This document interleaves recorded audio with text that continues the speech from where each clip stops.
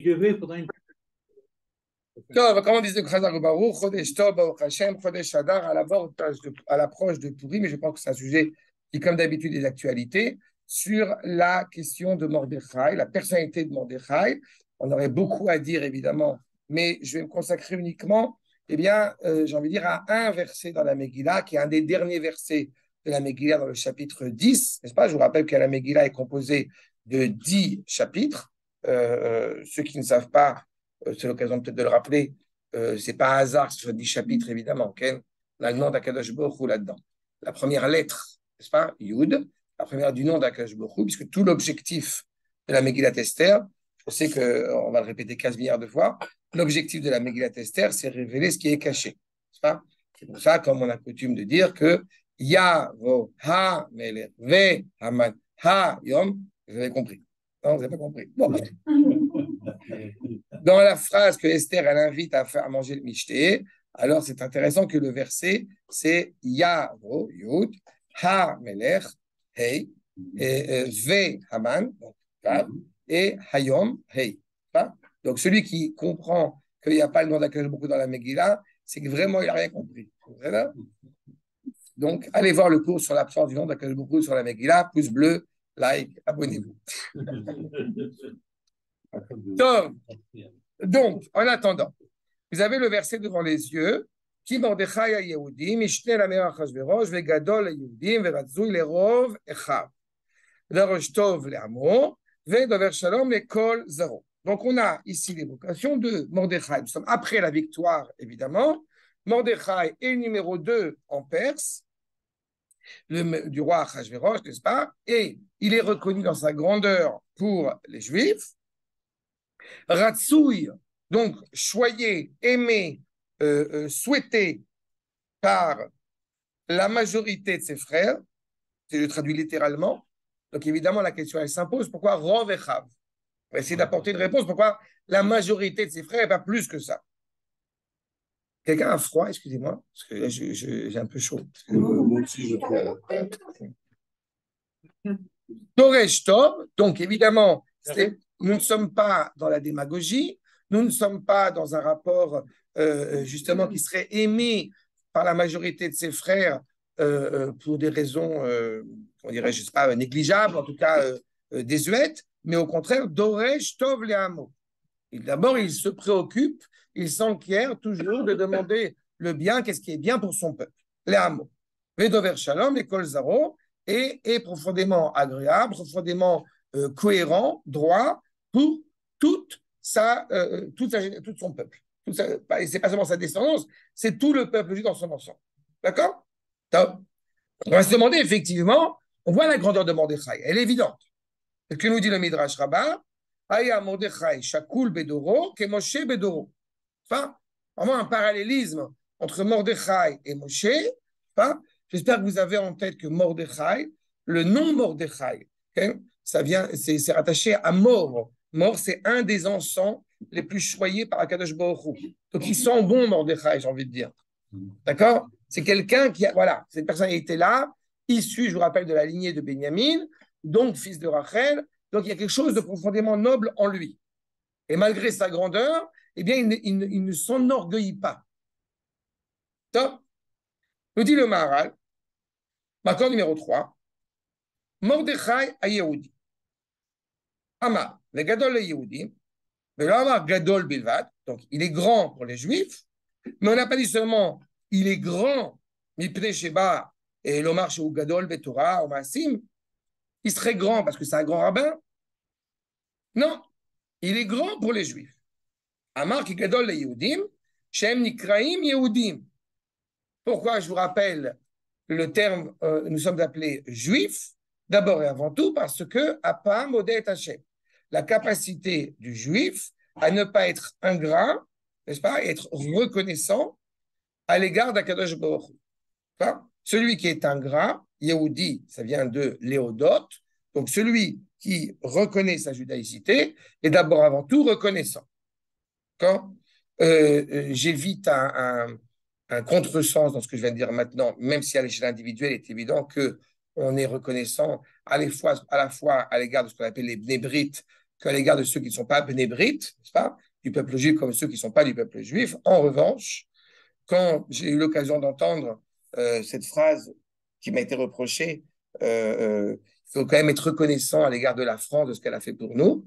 C'est la bonne phrase d'Algérien que j'aime beaucoup. Donc, je dis à chaque fois sur ce sujet, c'est tout à fait juste. Je n'oublie absolument rien de ce que la France a fait pour nous.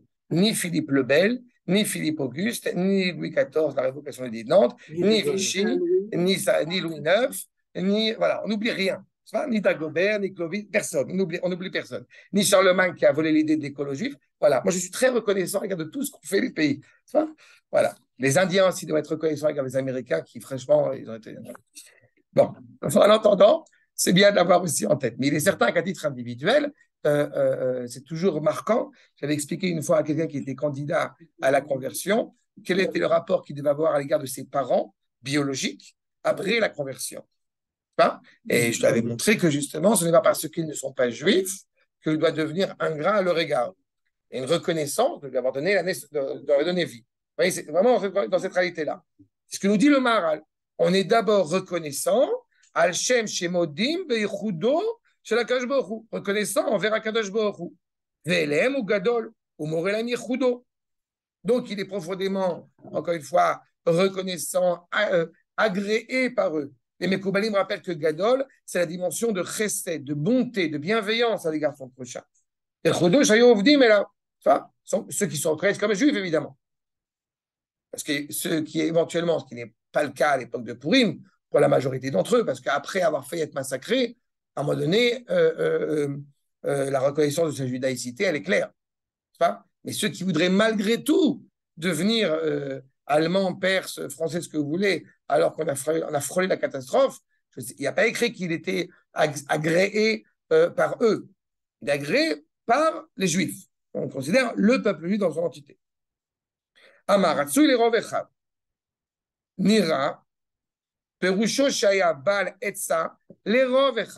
c'est là où justement je m'interroge. S'il est tellement exceptionnel, aimé de tous ses frères, choyé par tous ses frères, tout le monde le reconnaît à sa grandeur. Alors, dans ce cas-là, il doit être écrit dans le verset, partout, les kol echav. Pourquoi les rov echav? D'accord? Shim ayachistaron le echad, aoten lo etza. S'il manquait quelque chose à quelqu'un, un conseil à quelqu'un, une recommandation à quelqu'un, alors il l'aidait. Premier sens de le c'est ça qui est appelé Ratsui le Rovechal. C'est-à-dire que dès que quelqu'un avait besoin d'un conseil, il était là. Sauf que qu'est-ce qui se passe Qu'est-ce qui se passerait s'il y avait un litige juridique, quel qu'elle soit, et euh, qu'il faudrait par là même, donc, eh bien, aller trancher vers ce. N'oublie pas qu'il est aussi ministre de la Justice. Bon, allez, Mordechai, arrange-nous le truc. Et là, soudain, il y a un problème. Parce que ça ne marche pas. Il n'y a pas de népotisme.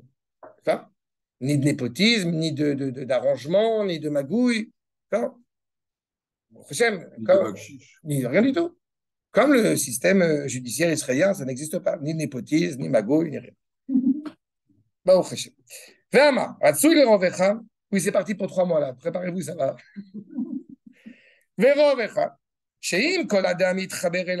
Si chacun se rattachait à lui, même les plus simples, afilu aprutim, afalga, qui yez omaalat anava, yoter, aval yezer ameler shiflut. En fait, nous dit le Maharal déjà qu'il y a une tension qui se crée inexorablement parce qu'il est tellement aimé par la majorité du peuple qu'il n'en tire aucun avantage, aucun privilège. Les plus simples voient en lui un homme d'une humilité euh, grande. Si ce dont je vous rappelle, le Talmud de Bavli, il était euh, Rosh Sanhedrin, et que selon le Talmud de Yerushalmi, il est Ramatkal, chef d'état-major. Ça veut dire que, bon, la vérité, elle est entre les deux. Quoi. Il était religieux sioniste. Mais le fait est, c'est que tout le monde, encore une fois, le reconnaît. Mais il est évident, ceux qui ont un intérêt, quel qu'il soit, économique, ce que vous voulez, peut-être qu'eux vont être un peu plus en, recul à l'égard de cette infection, à l'égard de cette emporté, encore une fois, qu'il est reconnu par tout le monde. N'oubliez pas, quand on fait le parallélisme entre euh, euh, Mordechai et Moshe Rabbeinu, il y a un midrash qui raconte que les femmes, euh, qu'il était, qu'il était, que les femmes étaient suspectées d'adultère. D'accord? Dans le désert. Mm-hmm. Pourquoi d'adultère? Explique le Maral d'adultère avec Moshe Rabbeinu. C'est pas Chazvechaïla qu'il y, avait un, y avait un réel problème d'adultère. Seulement la grandeur de Moshe Rabbeinu fait qu'à la maison, ben, le maître à bord, c'était plus le, père de famille, c'était Moshe Rabbeinu.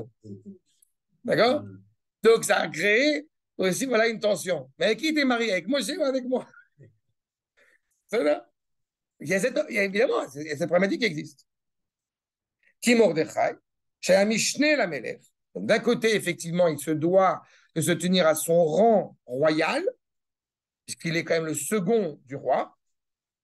Donc, il n'est pas envisageable.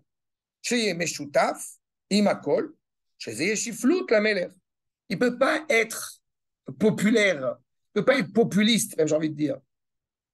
Pas Parfois, on voit ça, les gens, ils voient, ils disent, hier, tu mangeais, hier, tu étais simple, tu es le ministre, tu te mets un, tu, tu, un costume. Sauf qu'en réalité, il y, a aussi un, il y a aussi un statut. Je, je, rigole souvent même de moi-même, et je me suis rendu compte, et on en a parlé avec les rabbins à l'Ishiva, euh, ce qui m'a énormément surpris, il, y a des élèves qui m'ont demandé euh, euh, pourquoi je prie comme ci, pourquoi je prie comme ça, etc. Et il n'y en a pas un si on a commencé à se rendre compte qu'il y a des élèves à l'Eshiva, ils regardent les rabbinim, comment est-ce qu'ils prient. Et. non, mais c'est moi, c'est pas non plus un truc. il faut, que je fasse gaffe maintenant. voilà, non, on bouge, on bouge pas, on truc, on finit. Parce que, bah, au que pour eux, c'est aussi un. Mais, mais donc, on est obligé. On est obligé, on ne veut pas jouer le jeu non plus à l'inverse de dire non, non, attention, embrasse-moi la main, euh, je, fais des reculs. D'un autre côté, on sait qu'il y a, voilà, il y a un certain. Euh, bon, bah, Katanti, Mordechai, d'autant plus, encore une fois, dans sa dimension. Chiftout la Melech, ou le Kavod à Melech, et la Sotken. On ne peut pas se permettre, encore une fois, j'allais dire, de taper 5 avec Mordechai, quand c'est quand même le second d'Achashverosh. C'est pas la traduction littérale du Maral, euh, taper 5 et faire.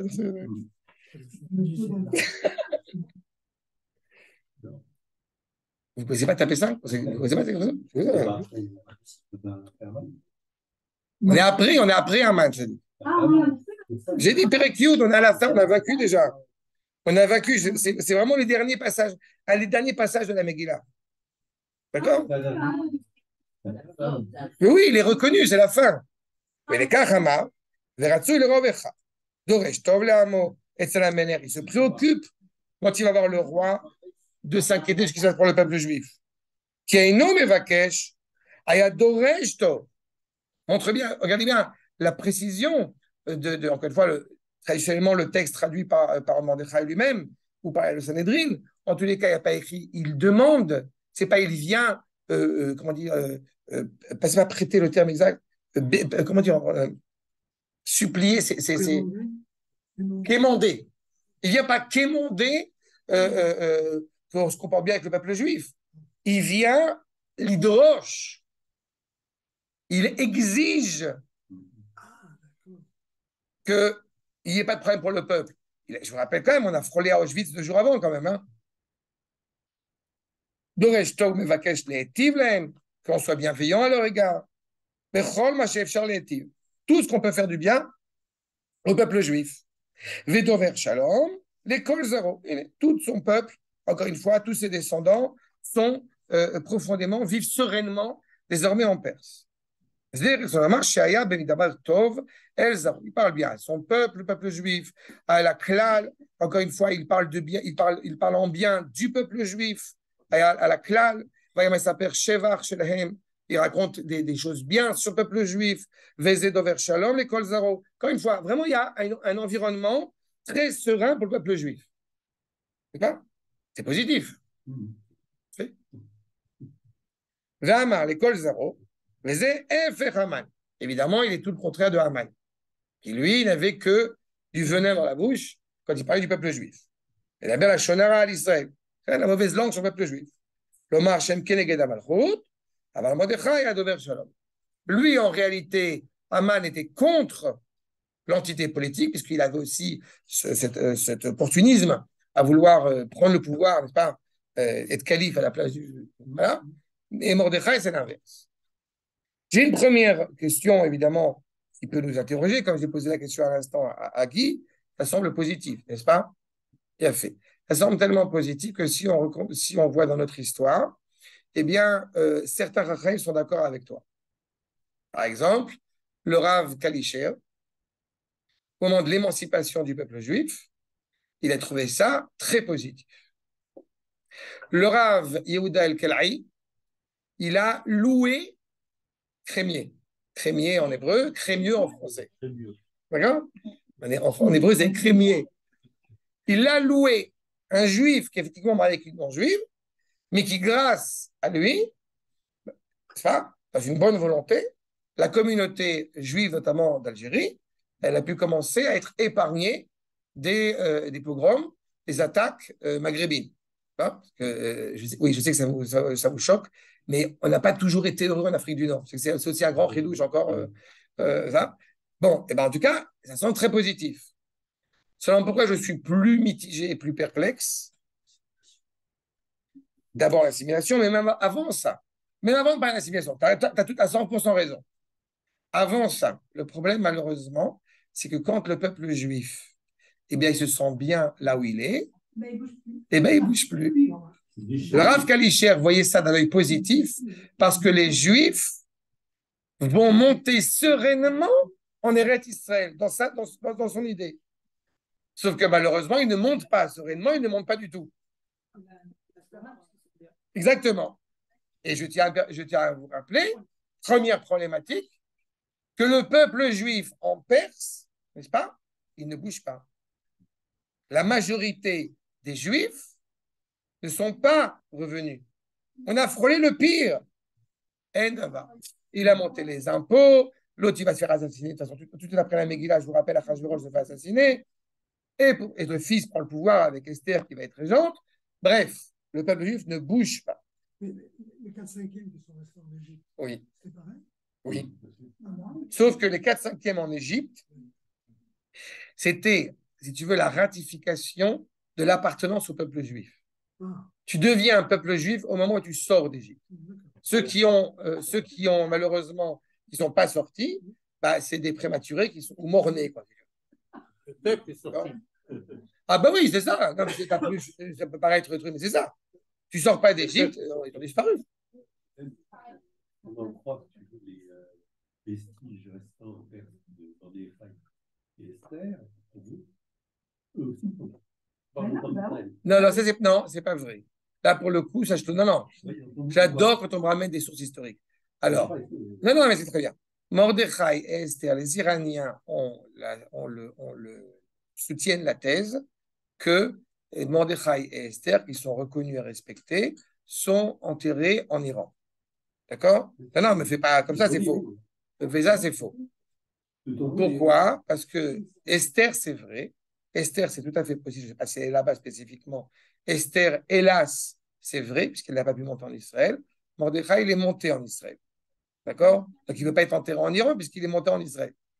D'accord? On va y revenir à ça. Justement, on va y revenir. Archab. Oui, mais je sais, c'est la source historique. La Bercheva, ils connaissent tous les sept puits de Abraham, les Arabes, ils sont millions. Allez. ותאמר, הלא גדולה יתרה, רעה יצר הצדיקים, פן יתגאו. Le Hachir Akadosh, ma numéro 4, vraiment il met, pour l'instant je vous livre tous les compliments, toutes les louanges qu'on peut dire sur Mordechai. T'arrives à un tel niveau de pouvoir, on se serait attendu malheureusement que l'orgueil te nuise. Tomaralo Agdula, Yetera, Ra'a, d'être aussi grand, c'est mauvais. Parce que justement, surtout ces tzadikim, ils peuvent s'enorgueillir de cela. Je rappelle souvent cette anecdote où le Rav Kook eh bien, souffrait c'est ces termes qui ont été utilisés, de Issourei, pardon? J'ai pas entendu? Non, non, j'ai pas entendu. C'est ça. Il souffrait de Issourei Kavod. Mais en vrai, hein, c'est pas, il ça, il y a celui qui fait, qui fait genre, genre je souffre. D'accord? Mais, mais, mais le Rav Kook, il souffrait de Issourei Kavod. Hein Quand on arrive à souffrir sincèrement de Issourei Kavod, des souffrances de l'honneur qu'on veut, qu'on veut, qu'on veut nous rendre, alors à ce moment-là, c'est la preuve qu'on est vraiment humble. Non je, n'ai- je n'y suis pas encore là. Ça va. Qui essaient un peu de se rabaisser que Les parents se rabaissent? Non, c'est pas- dans le sens de, de, de montrer qu'ils ont aussi des défauts, etc. Et puis de leur dire, mais ça ne peut pas comprendre, même si on peut pas. Non, je- non, j'aime, j'aime, non, c'est encore autre chose. J'aime l'honnêteté par rapport aux parents et je pense que tout parent qui se respecte, il est tout à fait euh, honnête euh, de dire je ne sais pas la, je ne connais pas la réponse, ou je ne suis pas encore. C'est pas, c'est pas, c'est pas grave quoi. Euh, au contraire, on apprend quoi. Mais euh, hein.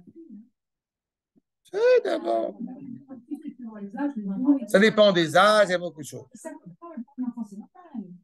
On passe par là. Mais pour un adulte, par- rapport à, quelqu'un qui, est- qui est très important, nous risquons d'idolâtrer, par exemple, un rabbin ou autre, parce que. Donc, Je ne pense pas. Quand on a, non, non, parce que non, parce que dans ce cas que tu évoques maintenant, non, dans l'évoque, dans les, dans les- dans l'exemple que justement tu évoques maintenant, ça dépend sur quoi on parle de respect.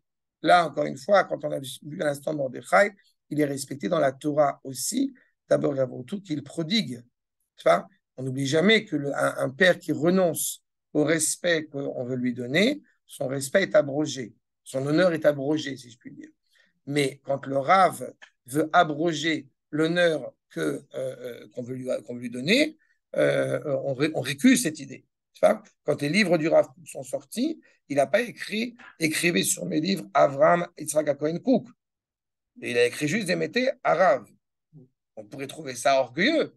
Non, ça serait, euh, ça serait exactement l'inverse. C'est-à-dire que si effectivement il a écrit que Arav, ça c'est vraiment l'humilité. Parce que c'est par rapport, encore une fois, à l'honneur de la Torah qui est derrière. Quand un fils respecte euh, euh, ses parents, son père ou sa mère, c'est aussi par rapport, encore une fois, à une vitalité de Torah qui est derrière. Mais j'aime cette idée, c'est vraiment une parenthèse, mais j'aime cette idée que le, que le, on n'impose pas l'honneur, on, l'acquiert. J'ai- J'aime cette idée-là. En tous les cas, le fait est qu'effectivement, il y a a priori un risque. Oh, yativu et Krovéem. Parce qu'encore une fois, on arrive à un tel niveau. On a une amende par la police. J'ai un copain policier, il va me faire sauter l'amende. Vous connaissez ce genre de, de- Et là, ce genre de réalité. Oh, yativu et Krovéem. Ils vont aider ceux qui sont les plus proches. Veyachikutov zulata. Mais ceux qui sont les plus éloignés, ils vont euh, s'en éloigner encore plus. Oh, Yashkun Kirav Kocham. J'ai parlé de népotisme. Vous voyez, On, va- on va engager le. Voilà, je vais étendre ma, mon pouvoir. Les Ahamar, justement, pour pas que tu puisses penser une seule seconde que Mordechai aurait pu tomber dans cet écueil, eh bien, on met en évidence sa grandeur. Gdulato, Kenoten, Oda, Alacher, Gidlu, Hashem. Ce qui importe, Mordechai, d'abord et avant tout, c'est justement d'être profondément reconnaissant à l'égard d'Akadosh Hu, qui a fait preuve, encore une fois, de, force, de, bien de diligence, de bienveillance en lui donnant ce pouvoir qu'il a acquis. Je ne veux pas. euh, euh, c'est juste pour bien saisir ce que je suis en train d'évoquer maintenant. euh, je ne suis pas en train maintenant de faire un, cours euh, euh, partisan, c'est pas ça la question. Mais j'ai été particulièrement touché et ému, si je ne voulais pas raconter, au moment des élections, ces dernières- des dernières élections, où vous avez un député qui était en train de faire un discours, il avait commencé son discours, il était choisi, et il y a son rave qui rentre dans la salle. Il y a les caméras qui sont euh, figées sur lui, et il a euh, arrêté son discours pour, a- pour accueillir son rave. D'accord Et je répète, je ne veux pas faire un cours partisan, ce n'est pas la question de faire comme ça. Mais j'ai trouvé particulièrement émouvant et touchant qu'avec toute cette grandeur qu'il a, eh ben, il n'oublie surtout pas qu'il est l'élève d'eux et qu'il se veut inspiré et investi par la Torah qu'il a, qu'il, qu'il- a, qu'il a acquis. D'accord? Pardon? Oui, oui. Qui, qui l'a mis Pardon? C'est ça. Non, je je ne vous, pas- je vous dis pas qui c'est, mais il monte sur la rabaille. C'est bon?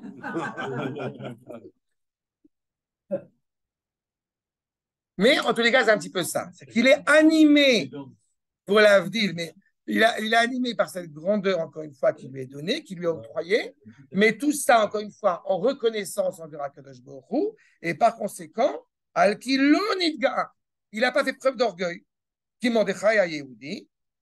Mishne. Il se reconnaît comme étant le second. Abotai, il a écrit qu'il est Mishné, la Melech, est le second du roi. Il applique les décrets du roi, mais en réalité, c'est lui qui dirige. Achashverosh est incapable de diriger. D'accord? Achashverosh, je vous rappelle, il a acquis la royauté, il l'a acheté. Il n'est pas roi par essence. Et la première chose, encore une fois, qui l'ennuie dans tout ce remue-ménage, ce n'est pas euh, est-ce que son, il a, il a évolué grâce à Esther et Mordechai, mais n'oubliez pas que sa première euh, euh, hantise, c'est qu'il puisse y avoir du grabuge dans son royaume. Quand, si on fait tout et n'importe quoi dans son état, dans, son, dans, sa, dans, sa, dans sa province, mais que tout le monde est content et tout le monde est heureux, ça ne lui pose aucun problème. D'accord? Euh, si, Le principal qu'il importe, c'est qu'on l'aime. Donc, s'il faut faire le mariage pour tous, le mariage pas pour tous, le et pour être élu, on y va. Et celui qui dirige, c'est Mordechai. Donc, même s'il est en réalité le numéro un qui prend en charge l'État, et entre parenthèses, Stov évoquait à la sortie d'Égypte, je vous rappelle quand même, Youssef Hatzadik, on avait le, on avait le même, le même rapport, Évidemment. évidemment, fils de Rachel aussi. Qui va les Mishneh.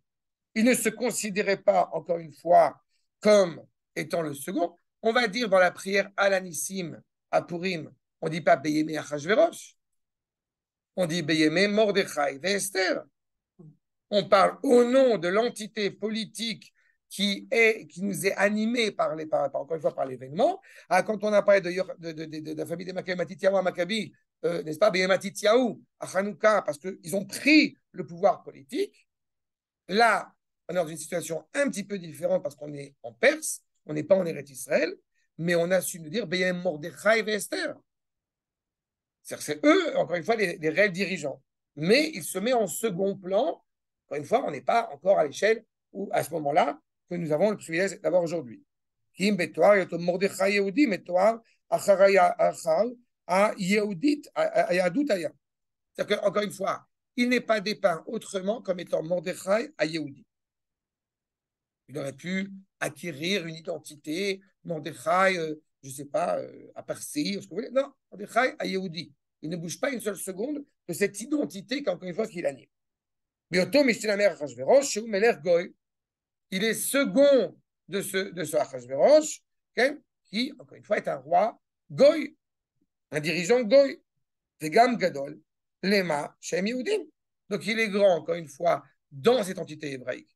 Cette entité hébraïque, elle peut être présente euh, à maintes reprises dans toutes les provinces d'Achashverosh. Elle n'est pas forcément euh, nombreuse en quantité, mais elle est suffisamment importante pour être reconnue comme telle. N'oubliez pas que traditionnellement, la Megillat Esther a été traduite dans toutes les langues de la même manière. Toutes les langues des provinces d'Achashverosh. Donc toutes les langues. Miodo ve'at kush. D'accord? Pardon. Miodo ve'at kush. Donc, c'est toutes les langues. D'accord? Nous, on ne fait pas des petits, euh, des petits États. Quand le peuple juif, quand on parle des quatre royaumes, on ne parle que des grandes puissances.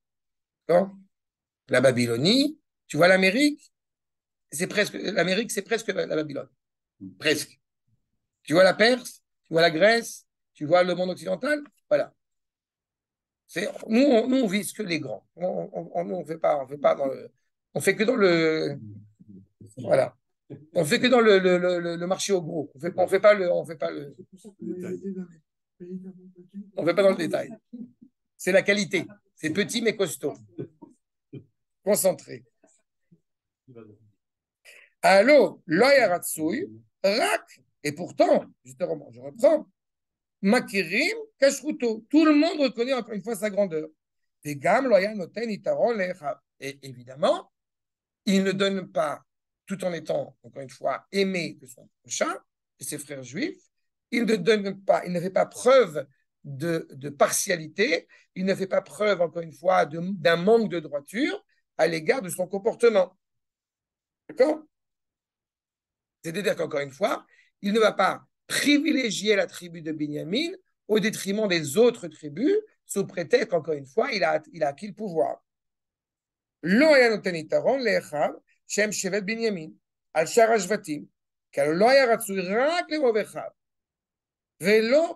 les Beneshifto. Il était aimé par la majorité donc, de ses frères, donc de sa tribu, si on traduit en ce sens-là, mais pas par tout le monde. D'accord? Est-ce que le meilleur dirigeant qui soit serait celui qui serait élu à 100% euh, Je ne le pense pas. Ça serait suspect. Ou alors la grande démocratie africaine à 150%. Là c'est encore. Ou Kim Jong-un. Oh, Kim, voilà, Kim Jong-un. Il n'y en a pas deux. C'est comme la paire.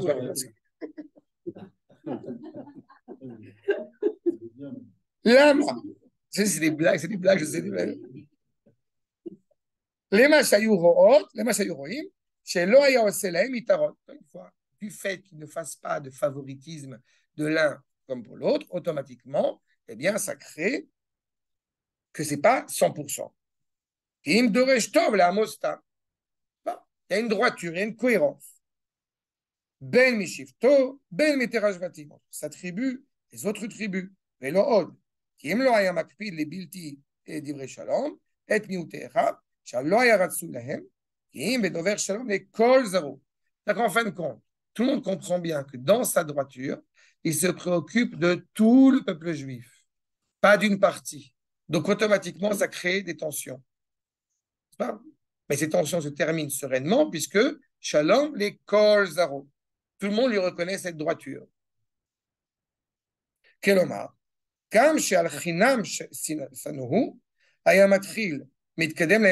Même ceux qui étaient a priori contre lui parce qu'ils ne voyaient pas, encore une fois, leurs propres intérêts réalisés, il n'empêche qu'il anticipait la volonté d'être aussi fédérateur, d'être aussi serein avec eux.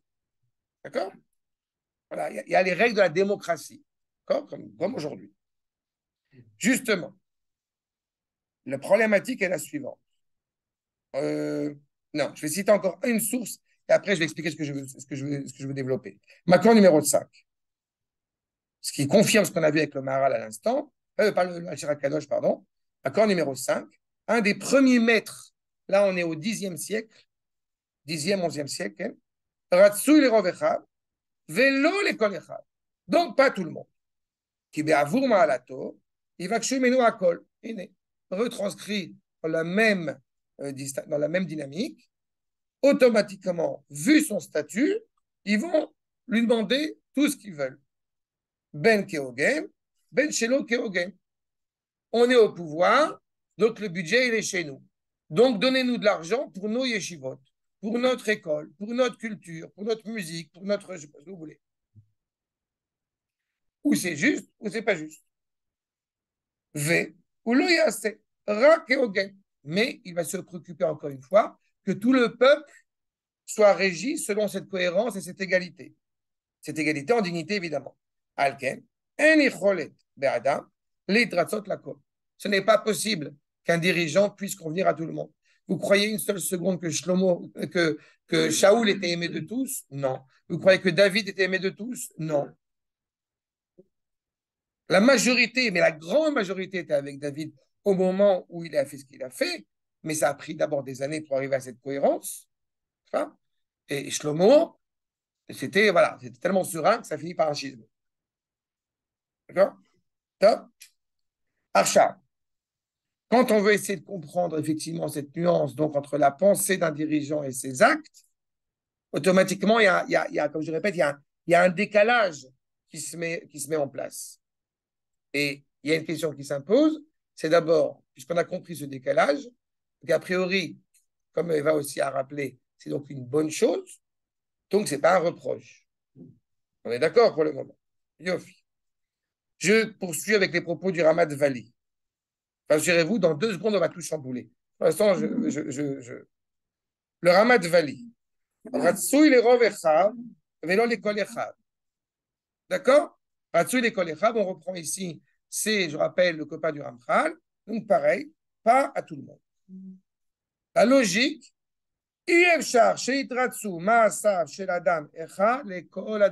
ce n'est pas possible. Quand on construit, encore une fois, déjà dans une famille, que tout le monde soit d'accord, c'est compliqué. Dans un peuple, encore plus compliqué. Ce n'est pas possible qu'un homme arrive à. Voilà. À part Moshe Rabbeinu, avec qui, évidemment, le peuple n'a fait aucun problème pendant 40 ans, ça a été le grand kiff. Non, le peuple, c'est jamais plein. Pendant 40 ans, tu lis Bamidbar, sérénité totale. D'accord?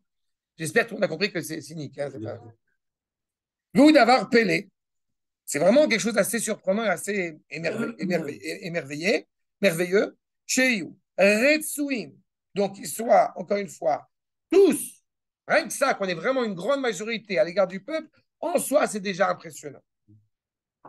Qui a filou et Rabban Genevim, voilà, est né. C'est qui Rabban Genevim? Vous savez, c'est Moshe. Même le maître des prophètes, Adon Kolanevim, c'est Moshe Rabbeinu. Shaya Ish Elohim, Bekiron Panim, il éclairait une telle luminosité, tout le monde l'a, tout le monde l'a loué au plus haut point, vers un numéro, vers un avmeod, d'une humilité sans comparaison, un falpichen, ayu rabim kamim. Beaucoup se sont levés contre lui. Il ne faut pas oublier que les goïms, ils en ont fait euh, une divinité, puisqu'ils ont cherché à le remplacer euh, au moment où il est parvenu avec le veau d'or. Les goïms, ils voient ce juif, ils le transforment en Dieu, hein, et les juifs, non, ils le jettent. D'accord? Ça existe là. Enfin, l'avdil entre, évidemment, entre l'autre abruti et ah, le malais, si Akash si Akash ne l'avait pas aidé, justement, il n'aurait pas pu se tenir, encore une fois, devant leur controverse. Vous savez que c'est, il faut quand même que vous sachiez qu'il n'y ait pas de controverse dans notre peuple, d'accord? C'est assez rare. D'accord? Au moment du don de la Torah, ça a marché. Vous voyez, pendant une seconde, et après. Après, ça a marché aussi. Et voilà, c'est tout, un court instant. Et c'est bien qu'il y ait des controverses, parce qu'on est l'indication de toute l'humanité. Le problème, c'est à quoi mène cette controverse? Et au nom de quoi elle est? La subjectivité humaine. Vélo lechinam, c'est pas innocent qu'il soit aimé et apprécié de la majorité. Et là, tov et Surtout parce qu'encore une fois, vraiment, il se préoccupait euh, en, en premier lieu du peuple juif auprès du roi. D'accord? Et on est en exil. D'accord? Il faut bien toujours comprendre. Quand on est en exil en Perse, d'avoir cette conception-là, cette pensée-là, c'est d'autant plus noble. C'est comme si on était en Israël et qu'un dirigeant allait demander aux Américains d'intervenir dans la politique israélienne. Pas Ce serait totalement euh, aberrant. Veze garam, modim alt mimuto, Donc tout le monde reconnaît malgré tout sa droiture, sa cohérence, son intégrité. Il a fait tout va bien. Donc, on va louer Mordechai. Adkan, c'est clair? L'homme Israël reconnaît la grandeur de Mordechai. Les Chachamim reconnaissent la grandeur de Mordechai. Tout le monde reconnaît la grandeur de Mordechai. Avec cette problématique-là, que comme c'est pas possible de pouvoir satisfaire tout le monde, donc on sait qu'on reconnaît sa droiture, mais tout va bien. Alors maintenant, on rentre dans le cœur du problème. dans le cœur du problème qui est le suivant. Certains m'ont reproché à Avram Avinu, je vais aller un petit peu plus haut et je vais revenir à Mordechai. Certains m'ont reproché à Avram Avinu, justement au nom des Tanaïm, d'avoir pris ces, ces 318 élèves de la Yeshiva à l'époque et d'être parti pour sauver Lot d'être parti au combat. D'accord? On va lui reprocher, tu as délaissé la Torah pour te préoccuper des affaires de la société, de la, politique, d'affaires militaires. Hein? Et on voit dans la Gemara une certaine critique. Euh, donc voilà, donc a priori, effectivement, on doit se concentrer, se concentrer, consacrer exclusivement à la Torah et ne pas se préoccuper des affaires de l'État. Pas en exil. En Israël, c'est encore plus évident, ça devrait être encore plus évident, ça ne l'est pas, semble-t-il. Mais en tous les cas, en exil, ça lui est reproché. Et ce qui est reproché à Abraham, de cette manière, c'est reproché aussi à Mordechai. Parce que Mordechai, le problème, c'est qu'effectivement, il est grand en Torah, mais il y a quelque chose qui est très chagrinant. C'est quoi? C'est qu'il est sioniste. Voilà. D'accord? Mordechai est sioniste. Et c'est un problème. Alors, vous allez me dire, j'extrapole, j'invente. Et Macron numéro 6. Donc, apprécié de tous ses frères. Vélo les choléra, comme on l'a expliqué déjà, il n'est pas aimé de tous ses frères. Macron numéro 7. Pourquoi? Mais la mèche chez Pirchou Memenu, Miktsat Sanhedrin. Les se sont un petit peu détachés de lui. Pourquoi? Les filles, Chenesa Karov la Malchut, Vaya Batel Bitalmudo. Qu'est-ce qui se passe? Mordechai, il s'est préoccupé de politique. Et donc, bah, il a moins étudié la Torah. C'est grave quand même. C'est bon? Comment il s'est occupé en plusieurs fois je cite, ce que dit, je cite ce que dit Rashi, ce que reprend Rashi sur les Gemara. Il y a quelques Chachamim, justement, là, je rentre dans le, je, rentre dans le, je pique. Parce qu'on a cette indication-là, et rassurez-vous, jusqu'à aujourd'hui, certains euh, religieux vont dire, mais vous vous préoccupez de euh, la politique, de euh, des Israël, de l'État, de la vie, voilà. Et donc, vous délaissez l'étude de la Torah. D'accord? Voilà la référence. Elle est, là, la référence. Donc, il faut qu'on essaie d'affronter ce que nous dit. Peut-être on se trompe. Peut-être. On parle, on parle. Il a un poste tellement important que. Ben oui, mais donc il a renoncé à l'étude de la Torah. Ben, il a délaissé l'étude de la Torah. A diminué, c'est renoncé. Le sionisme, ça fait partie de ça. Enfin, voilà, c'est- on va voir. Mais il y a un reproche qui est donné. Euh, Ne donnez pas des excuses à Mordechai. On a un problème. Donc, on a un problème. Il faut régler le problème. On pose le problème. Ne cherchez pas des excuses bien ni à la Torah. Elle n'a pas besoin d'excuses, elle n'a pas besoin d'avocat. D'accord? Mais il faut qu'on affronte cet enseignement-là. Parce que jusqu'à aujourd'hui, on a un problème. Pareil. Vous, vous partez à l'armée. De toute façon, vous n'êtes pas vraiment religieux, donc ça va. Mais nous, qui se préoccupons de la Torah, nous, on ne va pas à l'armée. Nous, justement, on construit l'essentiel, le Kodesh, pardon, Kodesh du pays. D'accord? Donc, il faut qu'on affronte cette, thèse, cet argument. Traité de Megillah. Gadol Talmud Torah, Yoter Me'atzalut Nefashot. Nous dit Rav Yosef. La Torah est plus importante, l'étude de la Torah est plus importante et plus grande que de sauver des vies. Non, non, c'est la Torah. En, en. Gmara, Maseret Megillah, Tetzain Amoud Bet. C'est Torah. Ne cherche pas maintenant comme ça avec le pouce. La Gemara, elle te dit ça, c'est tout. Top. Mordechai Batar Arba'a. Justement, pour confirmer ce propos, Mordechai, parmi les gens qui étaient revenus en Eretz Israël, il apparaît au début à la quatrième position. On va citer le verset. Et après l'événement de la Megillat Esther, il apparaît en cinquième position. Batar Arba'a, Ulvasov Batar Hamisha. Meikara Ketib. Dans le Sefer, dans le livre de Ezra, il est écrit Asher Baou Im Zerubbabel, tu vois qu'il ne peut pas être enterré en Iran. Il est venu avec Zerubbabel, la tribu de Yehuda, Yashua, Nechemia, Serea, Realia, Mordechai, Bilshan. Mordechai Bilshan, c'est Mordechai, dit les Chachamim. Il est en cinquième position. Ulvasov Ketiv, Abain Im Zerubbabel, Yeshua, Nechemia, Azarea, Rachama, Nechemia, Mordechai, il apparaît en sixième position. Dans le premier cas, il apparaît après le quatrième. Dans le deuxième cas, il apparaît après le cinquième. Ça veut dire qu'on est en train de lui reprocher de s'être préoccupé de politique, de s'être préoccupé de euh, justement du peuple juif dans sa situation absolument dramatique, plutôt que de se préoccuper de Torah et donc de délaisser, diminuer, ça veut dire délaisser quelque peu le les mots de Torah. Donc du coup, les Rachem du Sanhedrin, eh ben, se coupent un peu de lui, se coupent un peu de son élan. D'accord?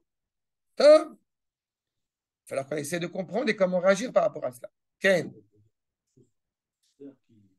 avec. euh, Esther n'a pas de- de- de- d'obligation d'étudier la Torah. Ah non, Esther, on pourrait dire la même chose par rapport à, euh, au fait que euh, elle a été avec euh, Arachvéroch euh, au niveau mariage alors que les Juifs. Alors? Non, mais donc, donc c'est la même chose. Oui, mais là, encore une fois, rôle- non, mais elle n'a pas le même statut. Elle n'a pas le même statut que Mordechai. Elle n'a pas la que Mordechai. Elle a écouté tout ce que lui a dit de faire Mordechai. Elle écoute son rab, que tu vas à gauche plutôt qu'à droite, elle fait. Jusqu'au moment où, encore une fois, Mordechai exige d'elle quelque chose qui la met en grave danger. C'est le rapport, effectivement, avec Achashverosh, où elle va devoir rencontrer Achashverosh. Elle se reconnaît comme étant perdue totalement dans ce monde-ci et dans le monde suivant. En fin de compte, grâce à ce qu'elle a fait, elle a eu l'Olamaba pour toute l'éternité. Ça, c'est évident. D'accord? Euh, On avait parlé de cela une fois, il me semble. Eli Cohen, il est pas, il est sa femme en Syrie, elle est pas, sa femme. D'accord? Il y a des enfants, grâce à, à Eli Cohen, Hachem est comme d'amour, c'est pas sa femme. D'accord? Donc ça change pas, c'est c'est un sujet à part entière. Mais on n'a pas parlé d'Esther. Tu as raison ce que tu dis. Et moi, je vais, je vais me confronter à ce que dit la Gemara. Parce qu'on a un vrai problème, encore une fois, idéologique vis-à-vis de notre, de notre rôle, de notre mission et de ce qu'on fait aujourd'hui. Comment je peux, en étudiant ce texte, en étudiant les propos des Rachamim, comment je peux encourager des élèves qui donc étudient à la yeshiva, comment je peux leur dire, vous quittez la yeshiva pour aller à l'armée? C'est ça qui sort de ça. Il faut voir ce qu'on fait avec ça. D'accord? Anna qui a dit pour euh, sauver des Juifs.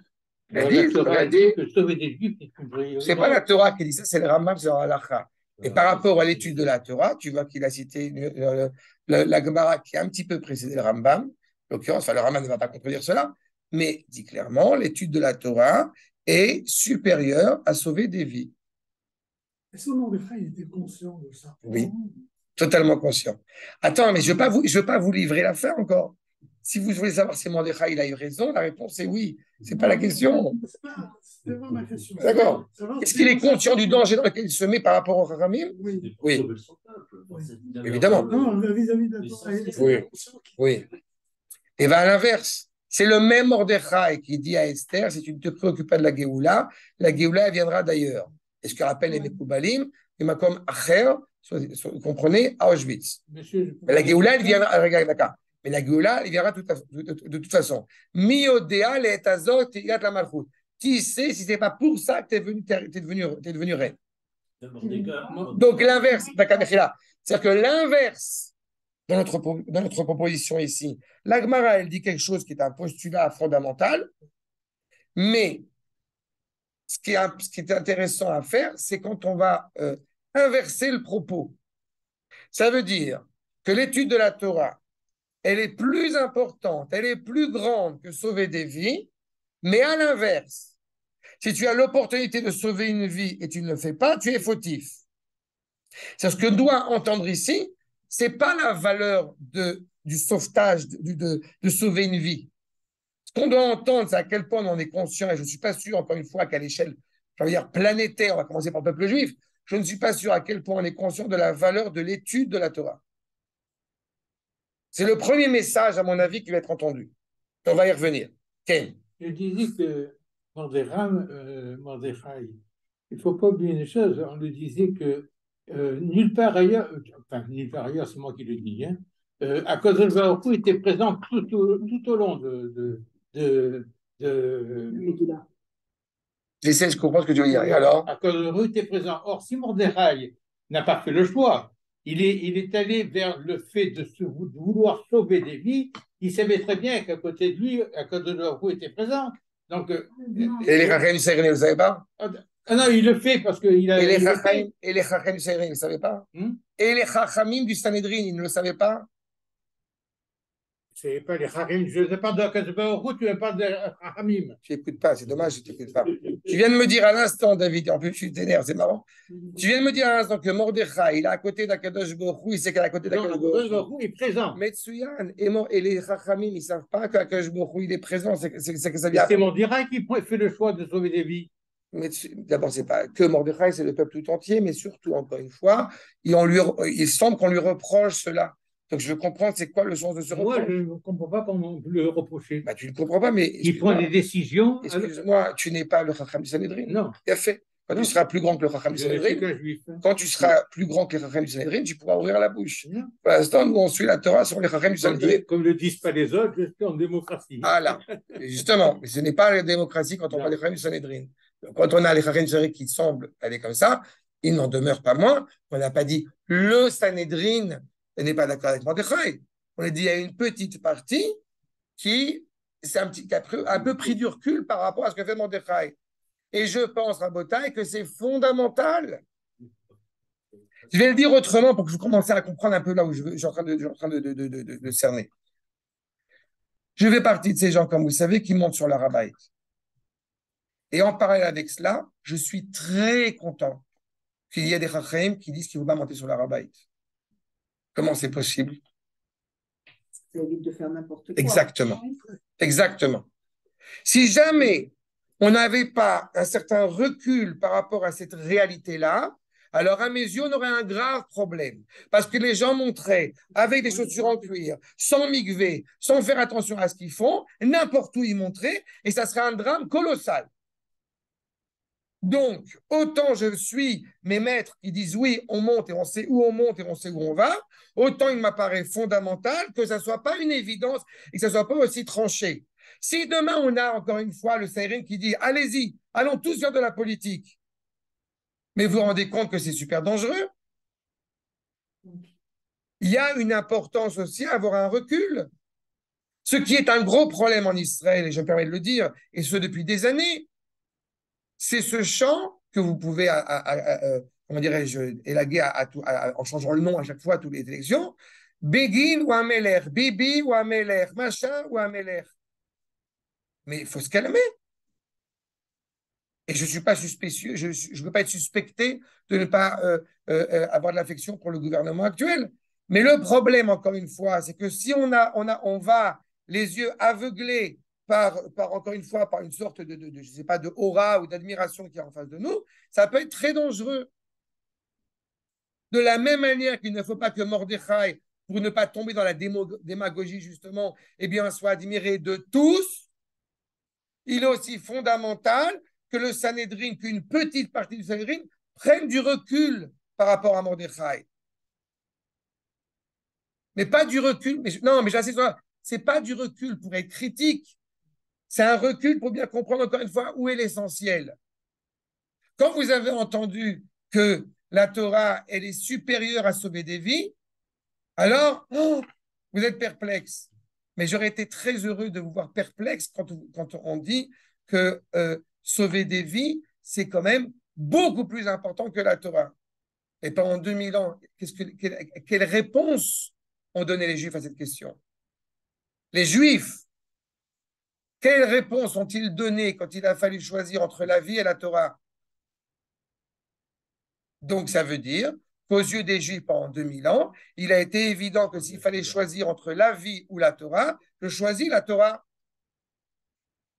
Et quand aujourd'hui on est confronté à une société justement, et je parle vraiment, je ne fais absolument pas de, de, vise pas un camp en particulier. Quand on est dans une société aujourd'hui qui veut parler euh, euh, qu'elle est une kippa, srouga, shrora, pas de kippa, ce que vous voulez, c'est pas, on s'en fout. Mais quand on va société aujourd'hui, où on est en train à chaque fois d'a- d'arrondir les angles, parce qu'on ne veut surtout pas blesser l'autre quand on parle de Torah, eh ben, je pense que quelque part, on fourvoie la Torah, on souille la Torah. Exactement. Parce que c'est de la démagogie.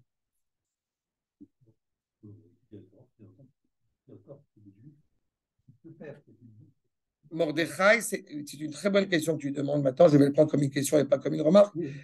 Mordechai s'est posé la question, justement, et c'est la discussion qu'il a avec Akadosh Baruch sur les trois jours de jeûne que nous avons jeûné, n'est-ce pas, en Nissan, à l'époque de, de Purim, n'est-ce pas? Et la question qui a été posée, c'est est-ce qu'on n'a pas enfreint une interdiction de Horaïta On n'a pas le droit de jeûner le soir de Pessah? Et donc, il y a une question qui est posée est-ce qu'on a enfreint ou non la halacha en ayant jeûné, ou alors est-ce qu'on a jeûné que la journée, mais le soir on a mangé pour ne pas enfreindre la loi de Pessah Mais, et c'est ce que quelque part on va lui reprocher à Mordechai, mais il dit à quoi ça sert de, de- de- de- d'imputer à un juif une faute de ne pas avoir éventuellement avoir mangé la matzah le soir du Seder s'il n'y a plus de juifs pour célébrer la sortie d'Égypte? Oui. D'accord? Donc tu as tout à fait raison. Mais cette question-là, je vais aller encore un peu plus loin dans, ma démonstration. Dans le Tana des Eliyahu, c'est ce que c'est s'est souvent servi euh, Ben Gurion contre la Yehuda pour essayer de, titiller un peu, si je puis dire. Et je vais être gentil. Il dit, a écrit, euh, il a écrit dans votre Torah. J'adore quand tu dit dans votre Torah, tu sens déjà que ça va m'énerver. Mais bref, il dit, et qu'est-ce qui est plus important, la Torah ou le peuple juif? Et c'est écrit, Tana de Beliaou, le peuple juif est plus important. Sauf que là où malheureusement euh, Ben Gurion, qui n'était pas forcément euh, un grand rave de tous les temps, ce qu'il a loupé, c'est qu'il n'a pas compris ce que ça veut dire. Et le Rav Yehuda lui explique cela. Un peuple sans Torah, sans l'épine dorsale, sans cette luminosité, encore une fois, qui fait qu'il est le peuple juif, ben, il est mort. Je n'ai pas parlé encore de mitzvot, de major, je ne rentre même pas encore. Mais dans cette épine dorsale, encore une fois, qui constitue son identité. Quand on dit le peuple ou la Torah, il est évident que c'est le peuple, et ce n'est pas un peuple, comme dirait Béni Lévy, ce n'est pas un peuple déjudaïsé. C'est un peuple qui a une identité, encore une fois, qui l'assume. Mais on peut réellement assumer cette identité que si on l'étudie. Ça, je me permets d'insister sur ce point. Donc, oui, le peuple, c'est parce qu'il s'est réuni et qu'il a compris qu'il fallait absolument se réunir autour de cet idéal qui est le nôtre de notre identité, que le peuple juif a été sauvé. C'est Mordechai qui a, agi, comme tu disais tout à l'heure, sauf que Megillah, il ne s'appelle pas Megillah Mordechai, il s'appelle Megillah Esther. C'est quand même Esther qui a fait quand même un, peu, un petit risque, quand même. D'accord? Mais on va y revenir. Regardez la suite, s'il vous plaît. Rashi, Makor numéro 9. Nous dit, donc dans son commentaire sur la Gemara, chez Pirchou Memenu, pourquoi, quel reproche ferait le Sanhedrin à Mordechai, les fichiers Bitel Mordechai Torah, Benichnas les Shrara. Shrara, il est rentré dans le contrôle, il est rentré dans la politique. Donc il a, encore une fois, c'est écarté de la Torah. Combien de fois il m'est arrivé d'expliquer Vous voulez construire une maison, vous allez voir un architecte, vous n'allez pas voir un Rosh Shiva. Et ça ne veut pas dire que le Rosh Shiva n'est pas l'essentiel, mais simplement il faut savoir ce qu'on veut construire. On ne peut pas gérer la politique ou le politique comme on gère encore une fois la Torah. L'objectif du rap, c'est de dire des paroles, qui, sont essentielles, qui sont la vérité. On n'est pas dans un débat, on n'est pas dans, un, dans, une, dans une discussion philosophique. Non. Voici ce que la Torah dit. On va essayer de comprendre, on va essayer de développer. Voici ce que la Torah, elle dit. C'est quoi le rôle de la politique? C'est d'amener l'État, le, le, le peuple, à cette vérité. Donc le rôle n'est pas le même. Et si on, entre, les rôles, alors on aura un problème. Simplement, il y a des situations où il n'y a pas eu le choix. Je vous rappelle quand même que le Rav Druckmann est rentré dans la politique parce que le Rav Ziouda lui a demandé. Et le Rav Neria, pareil. C'est-à-dire qu'il a fallu, et il ne voulait pas, on va le dire dans, tous les domaines que vous voulez, quels sont les meilleurs shlichim, les meilleurs euh, envoyés, on dit en français, qui vont partir en France pour de ramener des juifs en Israël? Vous savez qui sont les meilleurs shlichim? Ceux qui ne veulent pas partir. Bah oui, c'est ça le problème. On a découvert, euh, c'est très marrant, mais on a découvert il y a déjà des années de cela, dans, dans des programmes de jeunesse euh, du Bnei Akiva et d'autres mouvements de jeunesse, des juifs qui viennent d'Amérique et des juifs qui viennent de France. Eh bien, le programme américain est un vrai succès. Le programme français, c'est une catastrophe. Pourquoi? Parce que les juifs américains, une fois qu'ils ont fini leur année en Israël, ils repartent en Amérique. D'accord? Donc, ça permet d'entretenir une vitalité par rapport à un, tel programme. Le problème des juifs qui arrivent de France, ils suivent un programme euh, fanatique, sioniste, euh, fier de l'être et qui s'assume, eh ben, c'est que ils ont, le, malheur de vouloir rester. Et ils font des enfants. Et, je racontais tout à l'heure dans la voiture que je suis quand même très attendri parce que je, ne suis pas allé aujourd'hui, ce soir, au mariage où je devais aller, mais j'ai six mariages cette semaine d'élèves qui sont euh, d'élèves qui se sont euh, qui se sont mariés. Et, je dis souvent, vraiment sans, vraiment sans, fausse modestie, ni sans orgueil, mais il y a un truc que les garçons ils, font déjà depuis quelques années, c'est que quand il y a tous les rabbins de la yeshiva qui sont au mariage, alors là tu vas, là tu vas, tu vas sauter au plafond, je sais. Pourquoi? Parce qu'ils ils veulent que les rabbinim ils dansent avec le khatan, et pendant que les rabbinim ils dansent avec le khatan, ils sont tous assis quasiment par terre. Et franchement, c'est très émouvant. Mais on est en train de voir nos enfants qui se marient et continuent. C'est pour ça que je dis qu'entre, en- en- en- en- avec beaucoup de tendresse, que le programme français, c'est une catastrophe, c'est un échec pour la France. Parce qu'ils ne repartent pas en France. D'accord? Bon, ben, c'est ça le problème. C'est que le meilleur envoyé, le meilleur. Il ne pouvait pas y avoir d'autres hommes politiques plus habilités à mener la campagne pour sauver Israël que Mordechai. Justement parce qu'il est Mordechai à Yehudi. Mais les Rachaim donc mettent bien le doigt là-dessus pour qu'il n'y ait pas d'erreur, encore une fois. N'oubliez pas que les Rachaim de la, de la, Gemara, les Sanhedrin, donc évidemment la Gemara jusqu'à nos jours, c'est pour nous aussi, il y, a une, il y a une valeur pédagogique. Il y a une volonté, encore une fois, clairement, de nous dire surtout, ne vous trompez pas, ne tombez pas. Regardez la suite. Donc, Mikara, Beyem Koresh, au temps de Cyrus, chez Alaim Zérobavel, pas quand il est monté avec, euh, après l'autorisation de, Balfour, de Cyrus, pardon, eh bien, il, est monté Zérobal Minagola ou Mordechaimo. Venimnu Besefer Ezra. On a vu, ils sont contents le livre de Ezra. Esrim verba shana aya ben minyan le minyan, beyem koresh le Dariavesh à Acharon. Il y avait 24 ans entre la période de Cyrus qui va être assassiné et Darius II. Darius II, c'est en fait le fils de Esther. D'accord? Et entre cette période-là, les fils Shenessa, Mordechai, Sar, Benataim, Yarad, Michashivuto et Chachamim. Du coup, eh bien, il a perdu de sa candeur, il a perdu de son statut parmi les Chachamim. C'est devenu un homme politique.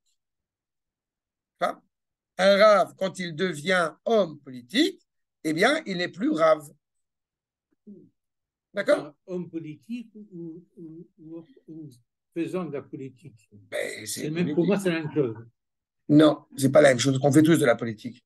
On fait tous de la politique. Tu vas voter, tu fais la Tu vas voter, tu fais la politique. Si tu fais de la politique, tu rentres dans un jeu, tu rentres dans un circuit. Non, non, j'ai compris ce que tu as voulu dire, mais c'est pas, tu n'as pas dit ce que tu voulais dire. Est-ce que c'est une politique partisane ou on fait de la politique? Je l'assume, je fais de la politique. D'accord? Mais je ne suis pas partisan. C'est ça la nuance. D'accord? Vous comprenez la, la nuance? Je ne suis pas militant. Je suis militant pour des valeurs, pas pour un parti. Et c'est ce qu'on doit transmettre, c'est des valeurs qu'on transmet. D'accord? Non, mais c'est clair la nuance? Encore une fois, si jamais je disais, et, euh, et je me permets de vous le dire parce que, entre parenthèses, dans certaines synagogues, dans beaucoup de synagogues, et en Israël en particulier, il n'y a aucune hésitation, malheureusement, chez certaines personnes à dire quel parti il faut voter. Sachez-le. D'accord? J'ai sept mois, cette gêne et cette retenue, mais beaucoup n'ont pas cette retenue. Et je l'ai entendu, ça veut dire. D'accord? Votez tel parti, vous serez sauvé dans monde futur, etc. Alors, faut être clair par rapport à ça. Jamais je n'ai tenu un propos de la sorte, et tout le monde sait, je pense, à cette table, à peu près ce que je vote. C'est pas Méretz, c'est pas Bien sûr. Et dans la mienne, quant à moi, aussi, j'ai jamais entendu. euh, Non, mais c'est ah, important, vous voyez, vous voyez la nuance. Et tout le monde sait pour qui tout le monde vote. Non, mais c'est non, mais non, mais c'est pas la question. Parce que je répète ce que je viens de dire à l'instant à Botaï. Je répète ce que je viens de dire à l'instant. Je suis, encore une fois, je prône des valeurs. Et je prône des valeurs, encore une fois, où mon référent, d'abord et avant tout, ce sont les rachamim. Et je ne suis pas en train, comme je vous montre, là, je prends des sources qui sont les plus traditionnelles qui soient, je ne suis pas en train d'aiguiller ce que disent les rachamim. On le lit. La chose, je transmets ce que nous disent les rachamim. Et j'essaye de comprendre modestement ce qu'ils nous disent. Excuse-moi, euh, Mordechai était mi- militant, tu crois? Pour le peuple, oui. Pour le peuple, oui. Mais s'il n'avait pas été militant comme il a été militant, je ne serais plus là aujourd'hui. D'accord? Il ne faut pas oublier encore une fois dans quelle situation, une fois de plus, pourquoi est-ce que le Rav Ziyouda a demandé au Rav, au euh, Druckmann de rentrer dans la politique? Parce qu'il y avait un vrai problème.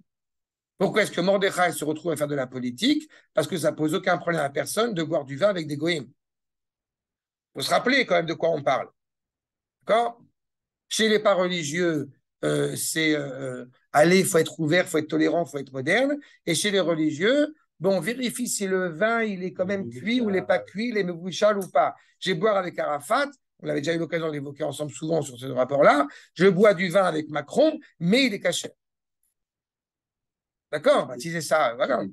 On est très prudent à ce qui rentre dans la bouche. On n'est pas suffisamment prudent, comme on a coutume de dire un de mes maîtres, le Rav Elisha Veshlitsky, de ce qui sort de la bouche. D'accord? Achab. Et donc, Mordechai, évidemment, il se retrouve confronté à ça. Donc, on fait le choix à ce moment-là. Regardez Rabbeinu Bachier, dans le cas d'Akemach, maintenant numéro 10. Shaita lo gdula bebet hamelech, ou lo. Comme on l'a cité, on l'a cité après cinq personnes, mais pas à n'importe quel moment. Donc, c'est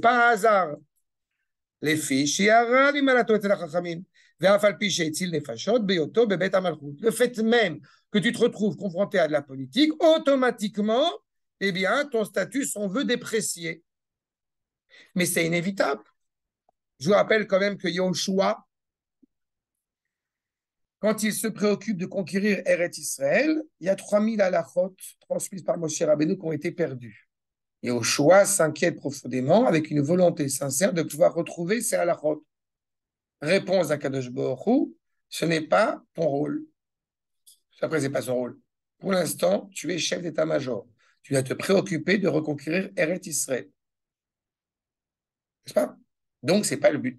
Ce n'est pas, pas le moment. Otniel Ben Kenaz, le premier des Shoftim, va récupérer ces 3000 halachot par l'étude de la Torah. Mais il n'empêche encore une fois que si, vous savez très bien, si vous, vous deviez faire une opération médicale et que le médecin que vous voyez en face de vous, il vous dit ne vous inquiétez pas, tout va bien se passer, je lis les Taïlib toute la journée, donc il n'y a aucun problème. Ben, je ne sais pas pour vous, mais moi je serais très inquiet. D'accord? Et automatiquement, s'il lit pas les Taïlim, alors on est inquiet, on est inquiet de l'autre côté. D'accord?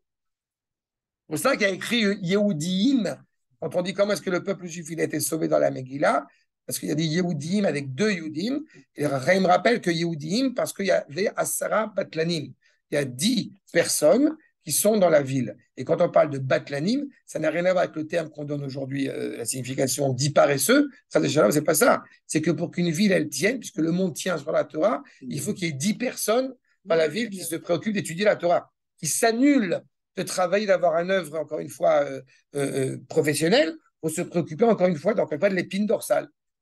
D'accord? Achab. Nous dit le Shulchan. Justement, on est dans Ilchot Tzedaka, accord numéro 11.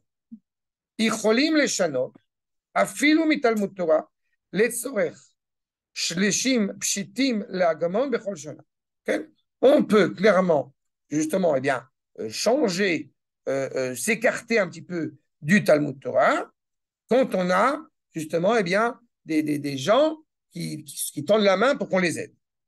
Les fiches, parce que justement, c'est vraiment sauver une vie. On veut donner la tzedaka, on veut aider la personne chaque année. Si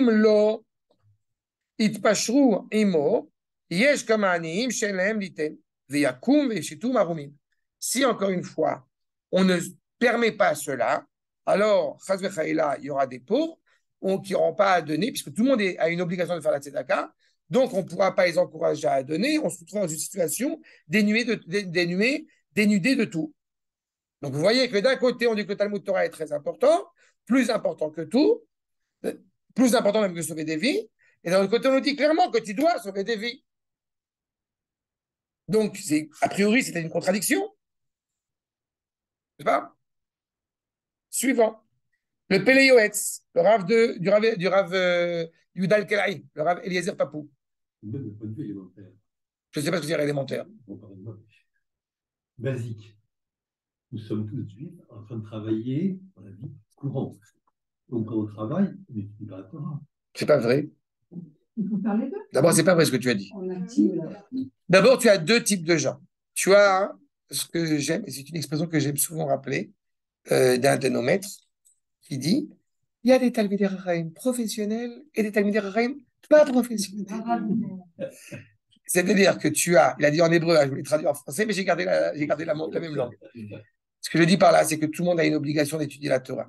Donc, itim la Torah, kavata itim la Torah. Tu es obligé de fixer du temps, de fixer du temps pour étudier la Torah. Ça, c'est une chose. Un petit peu le matin, un petit peu le soir. D'accord? Ça, c'est le premier élément. C'est vrai pour tout le monde, sauf pour les gens qui enseignent la Torah. Pourquoi? Les gens qui enseignent la Torah sont censés étudier la Torah toute la journée. D'accord C'est ça Ce qui est à part, parce que moi je fais plein d'autres choses dans ma vie, mais bon. Ça, c'est le premier point. Le deuxième point, quand tu parles de faire une séparation entre effectivement étudier la Torah et œuvrer, travailler comme tu as dit, alors c'est vrai dans ce que tu dis quand on est en dehors de chez nous. N'est-ce pas? Quand on est en dehors de chez nous, tu as clairement une séparation entre deux, dimensions. C'est pour ça qu'on parle de Avodazara quand on est en dehors des d'Israël, parce que tu ne révèles pas la sainteté d'Akash Baruch Hu dans le monde par le biais du travail que tu fais. À l'inverse, quand un ouvrier en bâtiment construit une maison en Eretz Israël, eh bien, il fait une mitzvah. Il n'est pas en train d'étudier la Torah, et oui, ou au sec la Torah. Il est en train d'œuvrer dans la Torah. C'est-à-dire que tout ce qu'il est en train de dire maintenant, il ne faut pas oublier qu'on parle en perse. Quand on va nous reprocher de dire vous mélangez la politique avec la Torah, il faut savoir quoi répondre. Quand on était en dehors des Israël, on peut comprendre cette problématique. Et là encore, il n'y a pas eu le choix. C'est où je laisse tomber le peuple, où je m'en préoccupe. D'accord?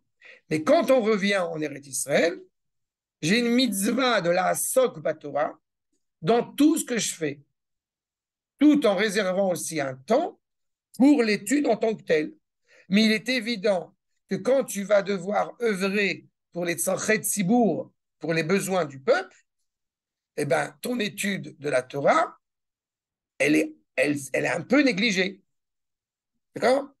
Aujourd'hui, euh, j'ai profité, j'étais, je suis parti à la Yeshiva, à Haïfa. Et quand les élèves m'ont vu, les élèves qui m'ont vu, ils savent que c'est mon jour de congé, donc je, ne travaille pas.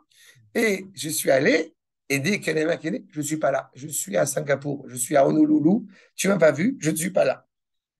Bon, mais je ne pouvais pas trop m'exagérer non plus parce que je les vois, les pauvres, ils ont envie de poser une question. Certains, ça me, fait, ça me touche. Mais, elle, je ne suis pas là. Parce que je suis dans ma tête, j'y vais pour étudier. Le moment où je ne suis pas en train de dire, je vais répondre à une question, je vais répondre à un cours, comment je vais répondre, qu'est-ce que je vais répondre? Foutez-moi la paix, c'est la retraite. D'accord? Bon, ben, c'est un peu ça, ce que je veux te dire. Donc, il y a effectivement un temps pour étudier, et là, tu as raison, et il y a un temps qui est fait pour travailler ou pour autre chose. Mais ne, laissons pas aller une seule seconde que ce ne serait pas de la Torah. Je ne sais plus qui c'est qui a dit tout à l'heure, je crois que c'est toi qui as dit tout à l'heure, sur le fait que même effectivement, quand il était en train d'œuvrer dans ce qu'il fait, il était encore dans ce prisme de Torah. D'accord? Même les Chachaim, ça paraît violent comme ils comme s'expriment, mais en réalité, on insiste pour dire que c'est quelques Chachamim pour encore une fois avoir ce recul, avoir cette mesure. Ils n'ont pas été contre, ils n'ont pas dit, ils ont été contre ce qu'a fait Mordechai. Juste comprendre encore une fois le contexte. D'accord?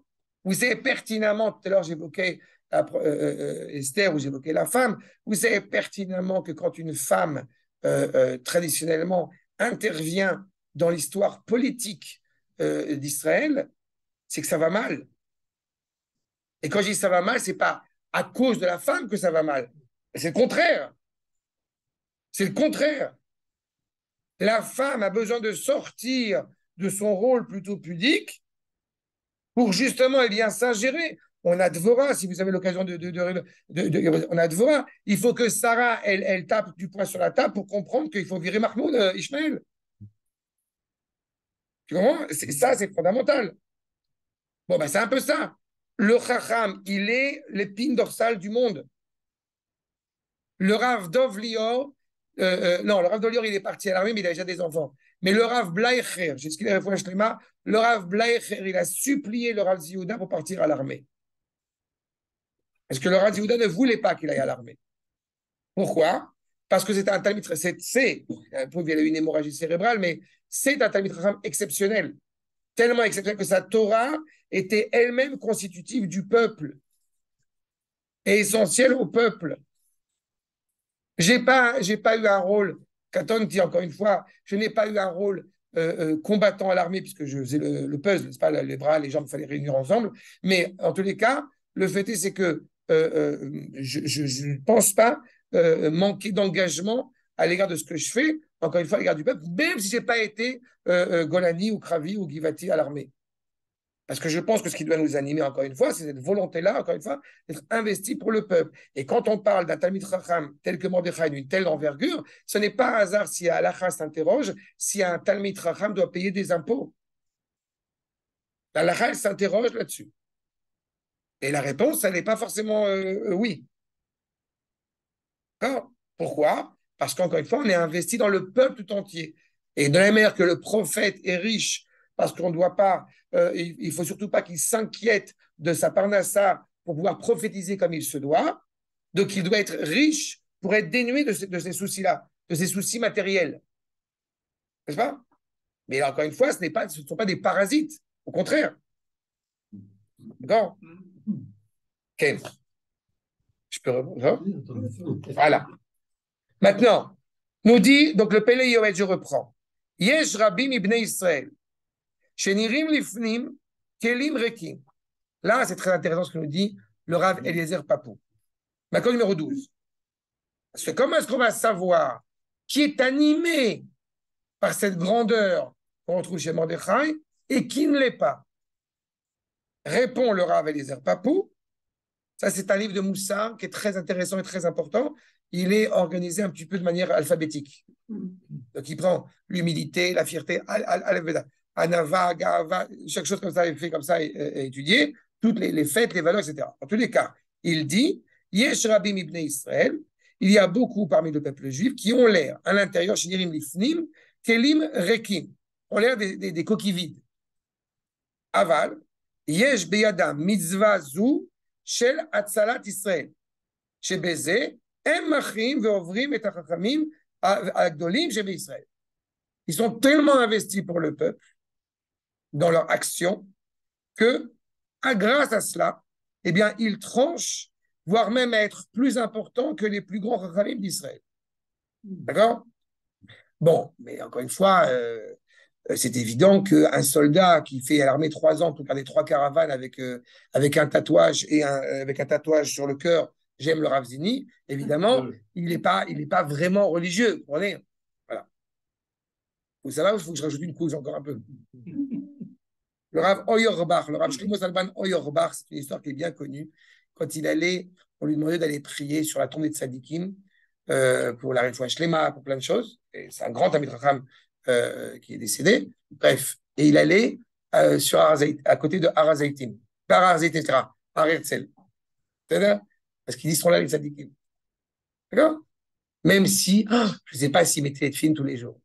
Et pourtant, il n'est pas que ça. D'accord? L'investigation pour le, l'investissement pour le peuple. de plus en plus de, de juifs qui vont à synagogue hein, et qui ont des Magan David tatoués en cou. Ouais. Ça, ça me fait bondir. Oui, mais c'est malheureusement. C'est il y a- c'est une question générationnelle. Aujourd'hui, la problématique du tatouage est, est- est très à la mode, depuis déjà des années. Moi aussi, je fais partie de cette génération qui suis à chaque fois perplexe sur le tatouage, parce qu'on connaît, enfin, même celui qui n'a pas, beaucoup étudié la Torah, on sait, genre, l'otigreo, l'otigreo, il y a, il y a- tout de suite, ça, ça fait réagir comme ça.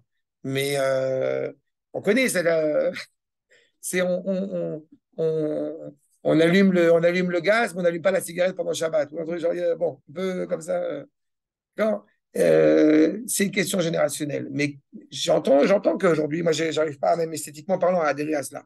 Mais on a des réalités comme ça. Bon, c'est mais bon, chacun. euh. En tous les cas, vous voyez déjà à quel point on nous dit d'un côté le Talmud Torah est très important, de côté on nous montre que quelqu'un qui serait éventuellement dénué de Torah et pourtant cette volonté de sauver le peuple juif a autant, encore une fois, de valeur, on reste dans la contradiction. Comment est-ce qu'on va savoir trancher qui va être digne d'eux et qui ne l'est pas? Un autre référentiel, le Katav Sofer, le fils de Katav Sofer, sur le traité de Megillah. Bevadai,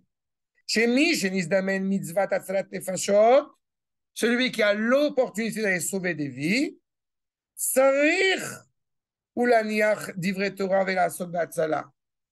Il est nécessaire qu'il mette de côté les paroles de Torah pour aller se préoccuper d'aller sauver la personne. Ou Bechol Makom, Milemala, Borerim Mishen Torato Chashuva Kolkach, Shu Yivatel Milimudo. On cherche des volontaires pour aller, euh, pour voilà, prenez un exemple typique. On cherche des volontaires, on va dire dans une yeshiva, on cherche des volontaires pour aller aider euh, des malades ou pour aller lire la Megillah à l'hôpital. D'accord? Ou pour aller réjouir des malades à l'hôpital. Et vous avez ceux qui sont tout de suite motivés. Mais on sait aussi qu'en parallèle, il y avait un cours super important qu'il faut préparer la feuille, etc. Mais ils sont motivés, ils y vont. Et, la frontière est très mince entre celui qui est motivé juste parce que pour sortir et à celui qui est motivé parce qu'il est réellement motivé. D'accord?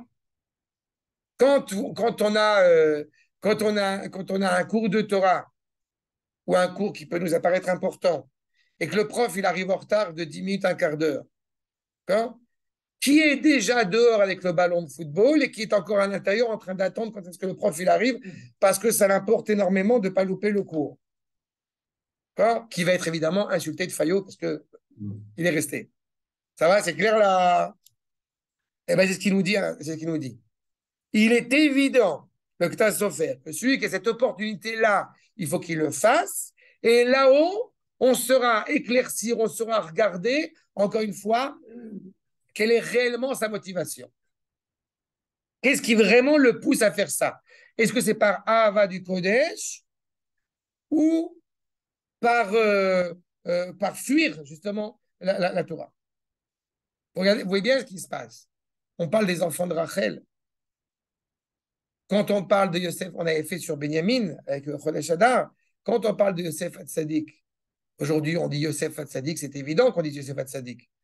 Et pendant 22 ans, quand il est habillé en égyptien, quand il vit à l'égyptienne, quand il est de l'extérieur, qui sait si réellement il est animé par un hébraïsme euh, euh, fier, assumé de la tête aux pieds, ou au contraire totalement assimilé à la culture égyptienne? Certains commentateurs vont évoquer l'idée, ce que je, ne pense pas d'ailleurs, mais en tout cas vont invoquer l'idée que Mordechai et Esther, Mordor et Ishtar sont des noms assimilés et que peut-être Mordechai n'aurait pas été réellement animé par la Torah au début et qu'il le devient par la suite. Je ne participe pas forcément à ce commentaire qui se veut, qui n'est pas, qui, est, ancien entre parenthèses. C'est pas un commentaire genre moderne. Non, mais ça veut dire qu'on a quelque chose encore une fois qui doit, qui doit être palpé à ce moment-là. On le décrit comme étant singe dans le Megillah. Singe? Sage. Ah, Mais c'est là où, encore une fois, la nuance, vous savez, c'est là où la nuance, elle est, elle est très mince. J'ai rencontré quelqu'un il y a pas longtemps, justement, dans un mariage, un jeune homme qui, euh, euh, qui, était, qui était sioniste, qui se disait qu'il est jeune, il y a une trentaine d'années, et il descend d'Israël, il n'en peut plus, il, a, il adhère plus. Et, et, et, bon, ça me fait toujours de la peine d'entendre des propos pareils. J'ai essayé un peu de bouger euh, ça en lui montrant que ça n'a rien à voir avec l'idéologie, mais c'est de savoir encore une fois où est la destinée de notre peuple. Tu, as, tu peux avoir un salon avec des inondations, mais c'est ton salon. Et il me dit oui, mais moi je préfère habiter dans le salon de la voisine. Il a très bien compris mon image. Ben, moi je préfère le salon qui est inondé, mais c'est le mien. Peu importe quels que soient les problèmes qu'il y a, et peu importe quel que soit ça. Mais on est là. Bon, et ben c'est un petit peu ça, ça veut dire. On est de l'extérieur en regardant cette personnalité aussi extraordinaire, aussi exemplaire que Mordechai, il faut voir ce qu'on va y retenir. Est-ce qu'on va y voir l'idéologue, le partisan politique, ou on va y voir un homme animé par la Torah? C'est pas les deux.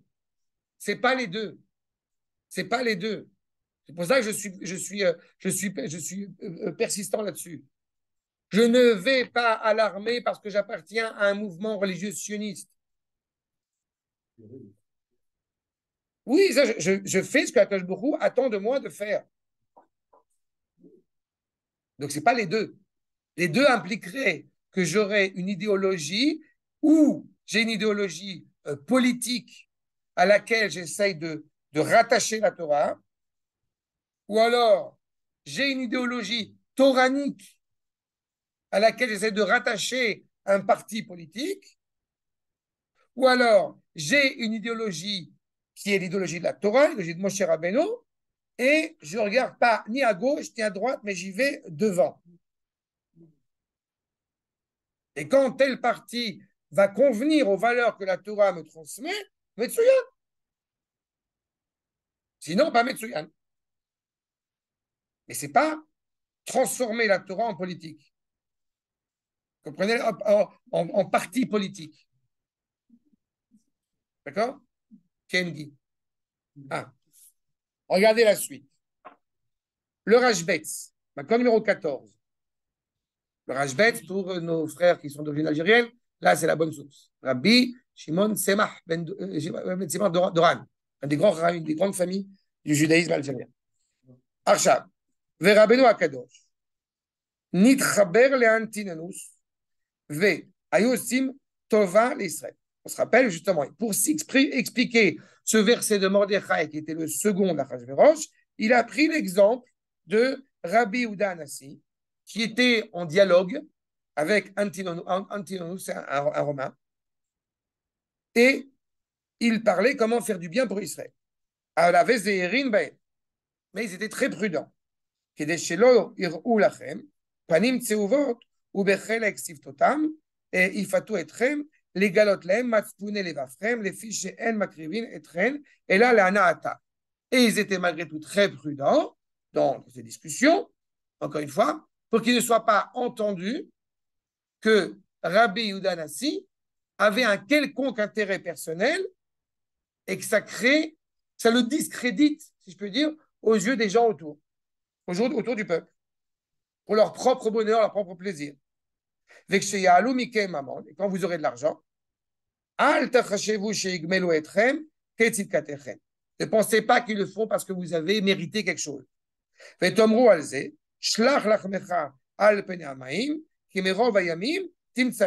Ce dit dans, Kohelet, envoie ton pain sur l'eau et tu vas retrouver ton pain si, si telle était la situation.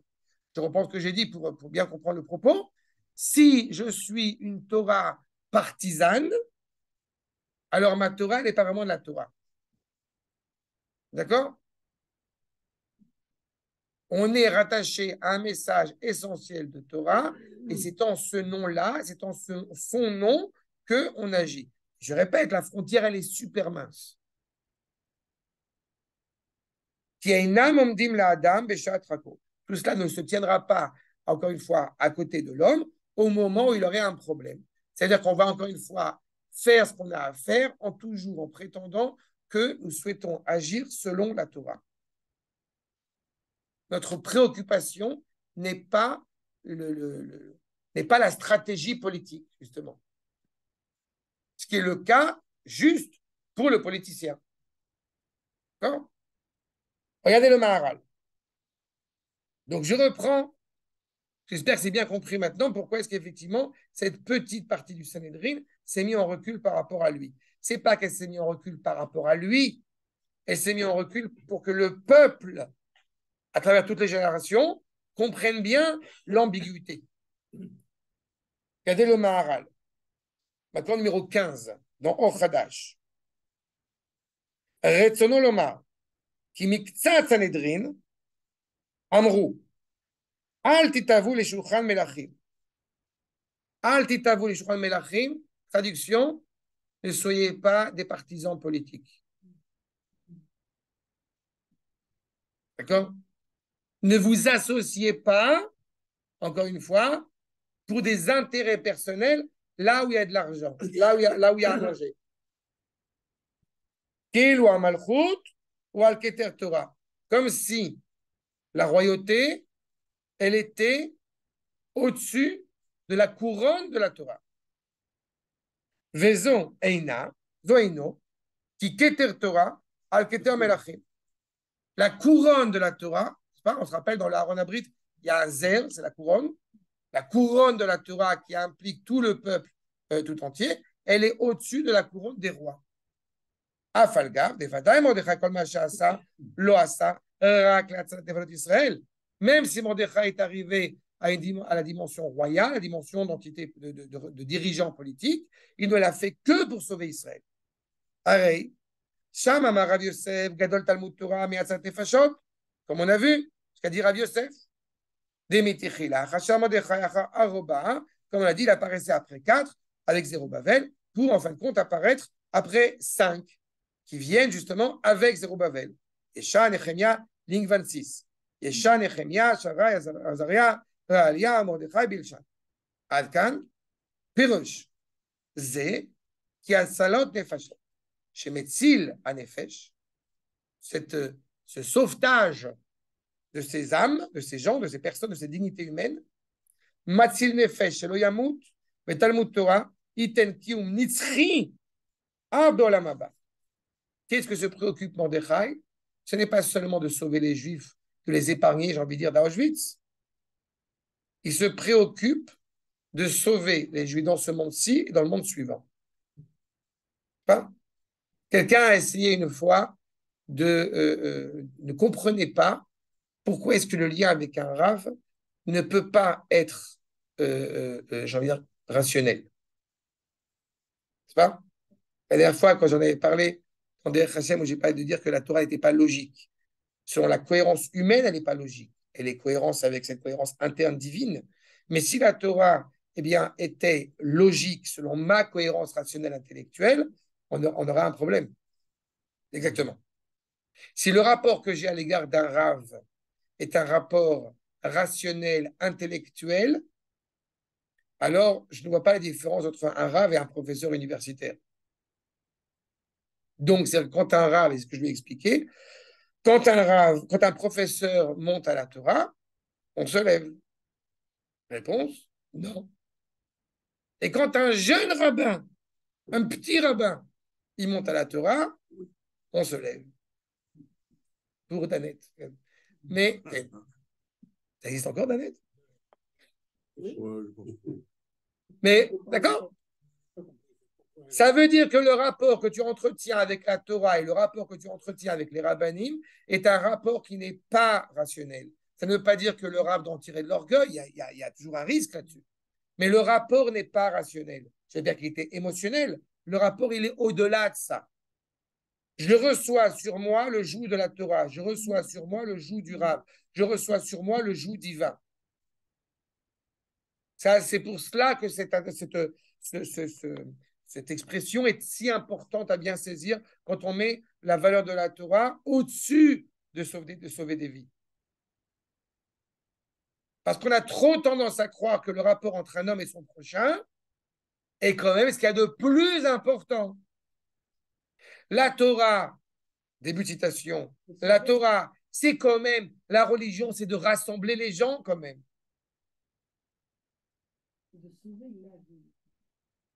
La vie en, dans son essence. Dieu, il s'en fiche si tu manges cachère ou pas cachère. Vous connaissez pas ce genre d'expression? Ce qui est important, c'est que vous, vous vous aimiez l'un avec l'autre. Oui, mon fils. Oui, mon père. Mais en Et ta sœur. en Perse, il n'y avait pas des juifs, c'était le peuple juif. Tout le peuple était là. Donc comment veux-tu que on puisse, on puisse euh, reculer euh, sous l'effet que Mordechai, il a, il, a, il a fait en sorte de sauver des juifs Il n'a pas sauvé des vies, il a sauvé le peuple. Oui, mais tu peux te tromper encore une fois, en, je répète, en évoquant que la dimension nationale, physique, idéologique, et en négligeant ce qu'il y a derrière. Il n'a pas sauvé le peuple, je répète. Mordechai, il a parlé avec Esther, et Esther a impliqué, a, imposé au peuple tout entier de jeûner pendant trois jours, de se, retrouver. Où est-ce qu'ils se sont retrouvés? Ils ne se sont pas retrouvés, euh, euh, je ne sais pas où, sur, la place de, de, Melaché Israël à Tel Aviv. Ils se sont retrouvés à la synagogue. Ils se sont retrouvés au Beth Midrash. C'est ça qu'on est en train de dire. C'est au Beth Midrash, c'est pas ailleurs. Donc il faut comprendre qu'on parle de. Il faut qu'on soit. Nous sommes tous frères. J'ai entendu quelqu'un il n'y a pas longtemps, justement, dans cette période tellement manifestante, que euh, euh, euh, il, faut, il faut être bienveillant à l'égard de son peuple, parce que c'est important, on est tous frères. On est tous frères. Parce que surtout avec ces extrémistes, ah, vraiment, on est tous frères. Vous avez quand même une députée de gauche qui a dit euh, il, faut il faut arrêter cette violence euh, terrible qui est en train de se mettre en ce moment en plaçant, alors qu'elle est vraiment haut placée euh, à gauche, et je ne veux pas dire de mal de Mira Michaeli, et euh, elle parle de violence, alors que quand même, c'est pas moi qui ai dit qu'on est prêt à prendre les armes et, et, verser du sang, si ce n'est le maire de Tel Aviv. Donc, j'aimerais bien savoir où elle est la violence, quoi. Elle a oublié, c'est ça. Tu comprends, il faut faire l'éducation.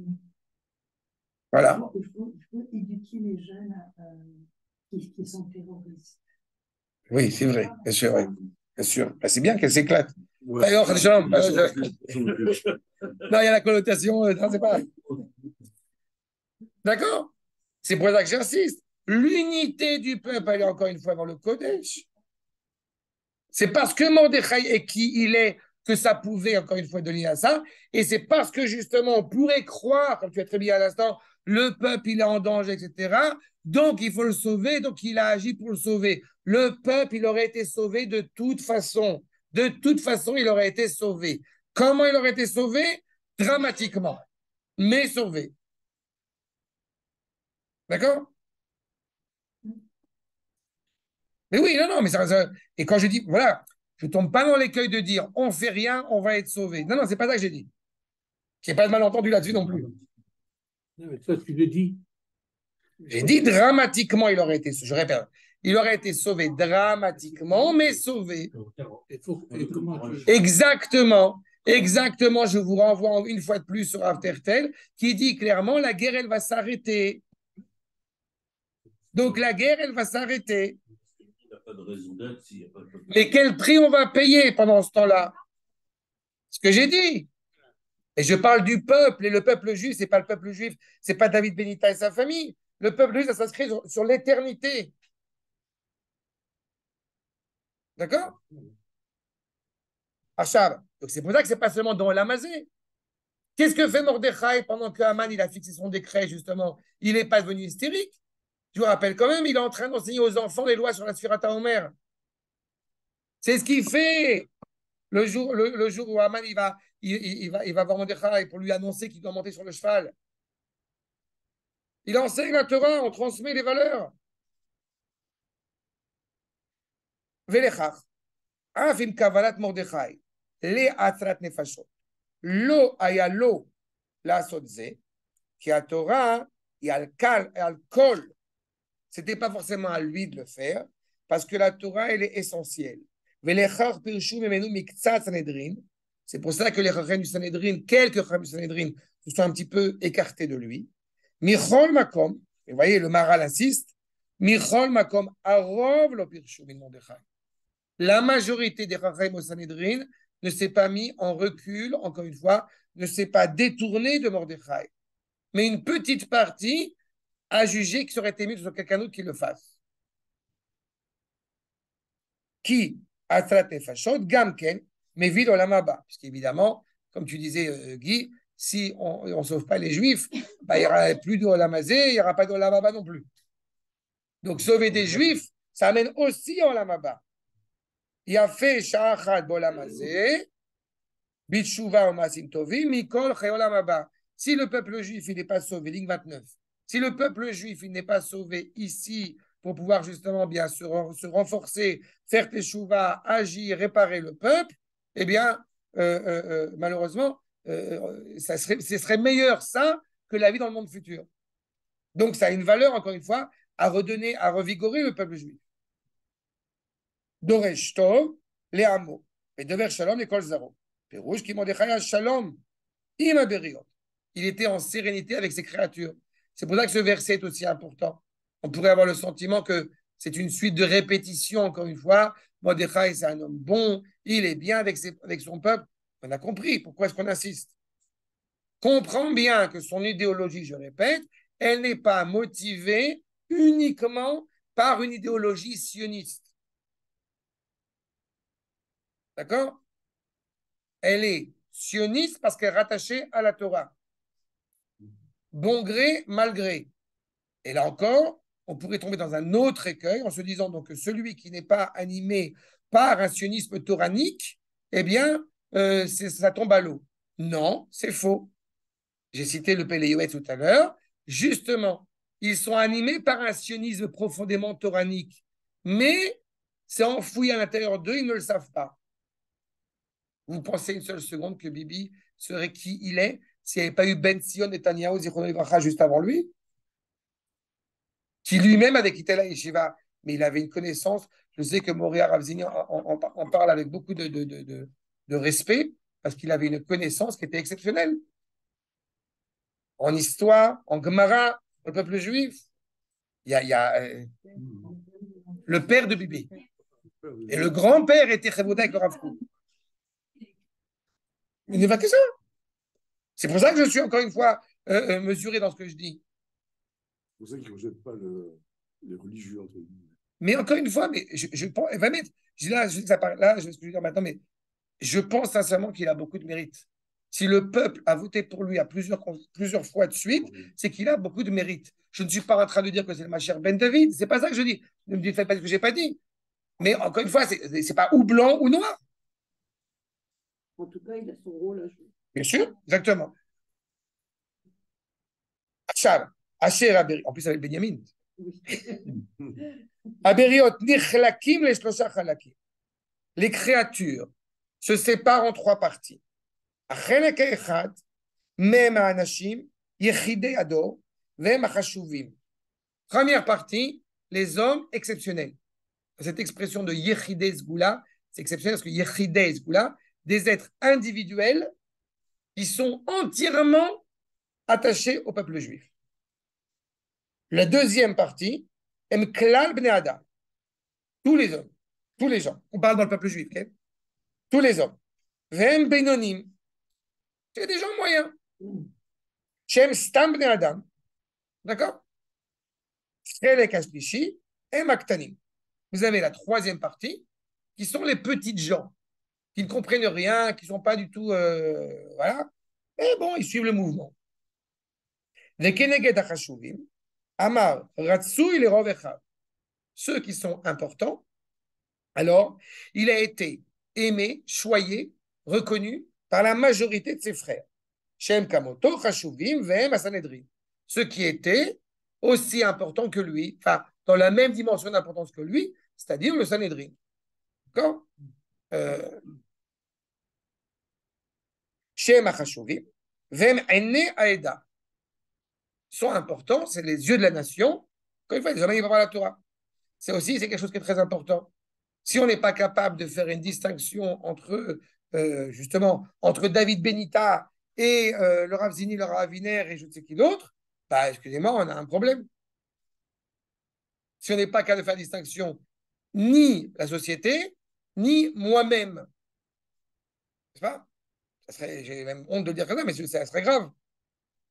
Donc, quand on dit Chashuvim Kamoto, on sait qu'on parle des Chachraïm qui sont, encore une fois, de cette envergure, de cette ampleur. Pas? Aujourd'hui, tout le monde est rabbin, tout le monde est des trucs. Mais à l'époque, Quand à l'époque du Gaon de Vilna, il y avait le Gaon de Vilna. Aujourd'hui, bon, on est tous Géonim, ça va, c'est parfait.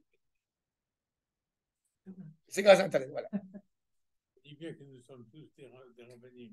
כי הדרך החשובים, שכל אחד רוצה להראות חשיבותו, chacun veut montrer son importance, וכאל הוא גדול יותר, et parfois c'est qui- qui- celui qui est plus grand que celui-ci, ולכך אינו רצוי להם. Ne me sortez pas Gad Elmaleh maintenant, le, le jeune rabbin beau gosse. ועל זה אמר כי מרדכי היה רצוי לרוב אחד. Encore une fois, il était reconnu par ses pairs, père euh, euh, P-A-I-R-S. וזה כנגד החשובים. Keneged Stam de Adam, Shem l'ensemble des nations? Amar Doresh Tov. Il se préoccupe encore une fois de faire du bien à son peuple. Une toute petite parenthèse que je me permets encore une fois de faire un, parallélisme. Euh, la majorité du peuple, si elle sait ce que c'est, Birtal, n'est pas contre, n'était pas contre la réforme juridique. C'est ça? Ça a été vérifié, c'est-à-dire c'est pas voilà. On a une, une poignée de gens, peu importe quelles que soient les raisons, qui s'y opposent, et vous avez les moutons grégaires. Comment on a pu déterminer ça, le pourcentage? Tu as demandé aux gens, les gens ils ont demandé, il y a plein. A voté déjà. Il y a voté, mais les gens ont été demandés. Non, Les gens ont été demandés ce que- qu'est-ce que vous savez de la réforme judiciaire? Ça La, ré- la majorité des réponses a été euh, on nous dit que c'est pas bon, euh, c'est une dictature. Ok, mais sur quelle base? C'est ça Non, non, mais je ne suis pas rentré ça pour. J'ai juste dit par rapport à, cette idée, encore une fois, de la, de- du peuple, encore une fois, on dit le peuple, on n'a pas, on est un peuple, on n'est pas, encore une fois, une université, on n'est pas une faculté de judaïsme. Par conséquent, dans le peuple, eh bien, il y a des gens intelligents et des gens moins intelligents. D'accord? C'est un peuple. Je ne parle pas pour mes enfants qui sont évidemment exceptionnels. Je parle, je parle- D'ailleurs, Maintenant, Shaya Rotsele, Bechol Shevcha. Il veut les aider, le peuple, avec leur considération. Raoul Tiv El Aklal. Il est clair, encore une fois, que naturellement, un dirigeant politique, il doit se préoccuper que le peuple, n'est-ce pas? Rappelez-vous ce qu'on avait fait sur le, la, justice sociale selon les enseignements du Rav le dirigeant politique doit se préoccuper que chaque citoyen ait la possibilité de travailler. Quand on dit léhétive, c'est pas être assis euh, sur une chaise longue, c'est que chacun peut dignement s'assumer à tous les niveaux, économiquement et, et- et- sécuritairement.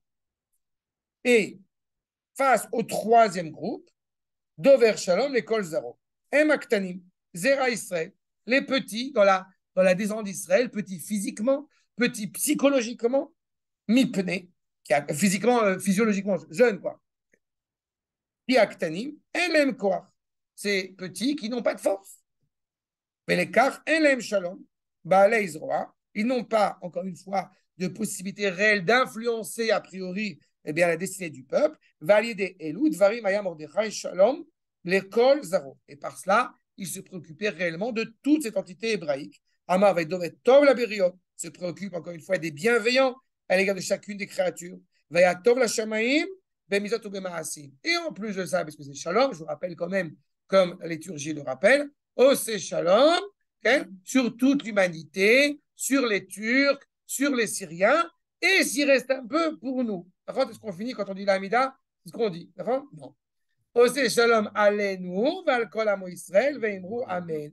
Allez nous, c'est nous, c'est le peuple. Hein? Bemromav, c'est les anges tutélaires, en haut et en bas. D'accord? Ils ont oublié, il faudra dire que dans la tefila, les ils rajoutent. Euh, parce que le cœur, encore une fois, quand le cœur va bien, tout va bien. Donc c'est ça, Bemizvot ou Bemaasim. L'alze amar, qui mordechai a Yehudi, shenikra Yehudi, bishvil, semassar, nafsho, akidou, shemo, amiuchai. D'un qu'un seul objectif, je vous rappelle, c'est de donner sa vie pour honorer son nom. Il n'y a pas écrit, je vous rappelle, qu'il ne se prosternait pas. Mordechai ne se prosternera pas. Pas? C'est ça, c'est la nature profonde de Mordechai. À Yehudi, alors qu'il appartient à la tribu de Binyamin. Al tikra Yehudi et la Yehudi. Il ne dit pas juif, mais dit spécial, spécifique, unique. Tu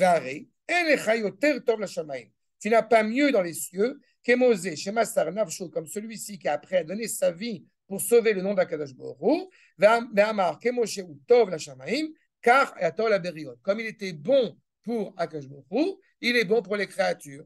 Une halakha très simple.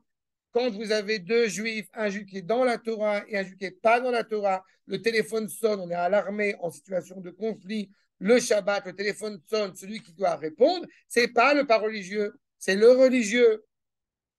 C'est exactement cela. Et c'est à ce titre-là que Mordechai, il est tout à fait digne et habilité à agir. C'est justement parce qu'il est profondément animé par la Torah. Donc, il faut forger des gens qui sont dans la Torah, dans cette doucha, pour que justement cette Torah s'exprime dans des actes aussi nobles, aussi glorieux. On m'a dit il y a quelques semaines de cela, en voyant mon fils, quelqu'un qui aime beaucoup mon fils, ton fils, on voit ça un sadique, donc il n'ira pas à l'armée, n'est-ce pas? Et justement parce que Bezrat Hashem, ça va être un sadique, il va aller à l'armée. Vous comprenez la complexité? Shalom Koltouv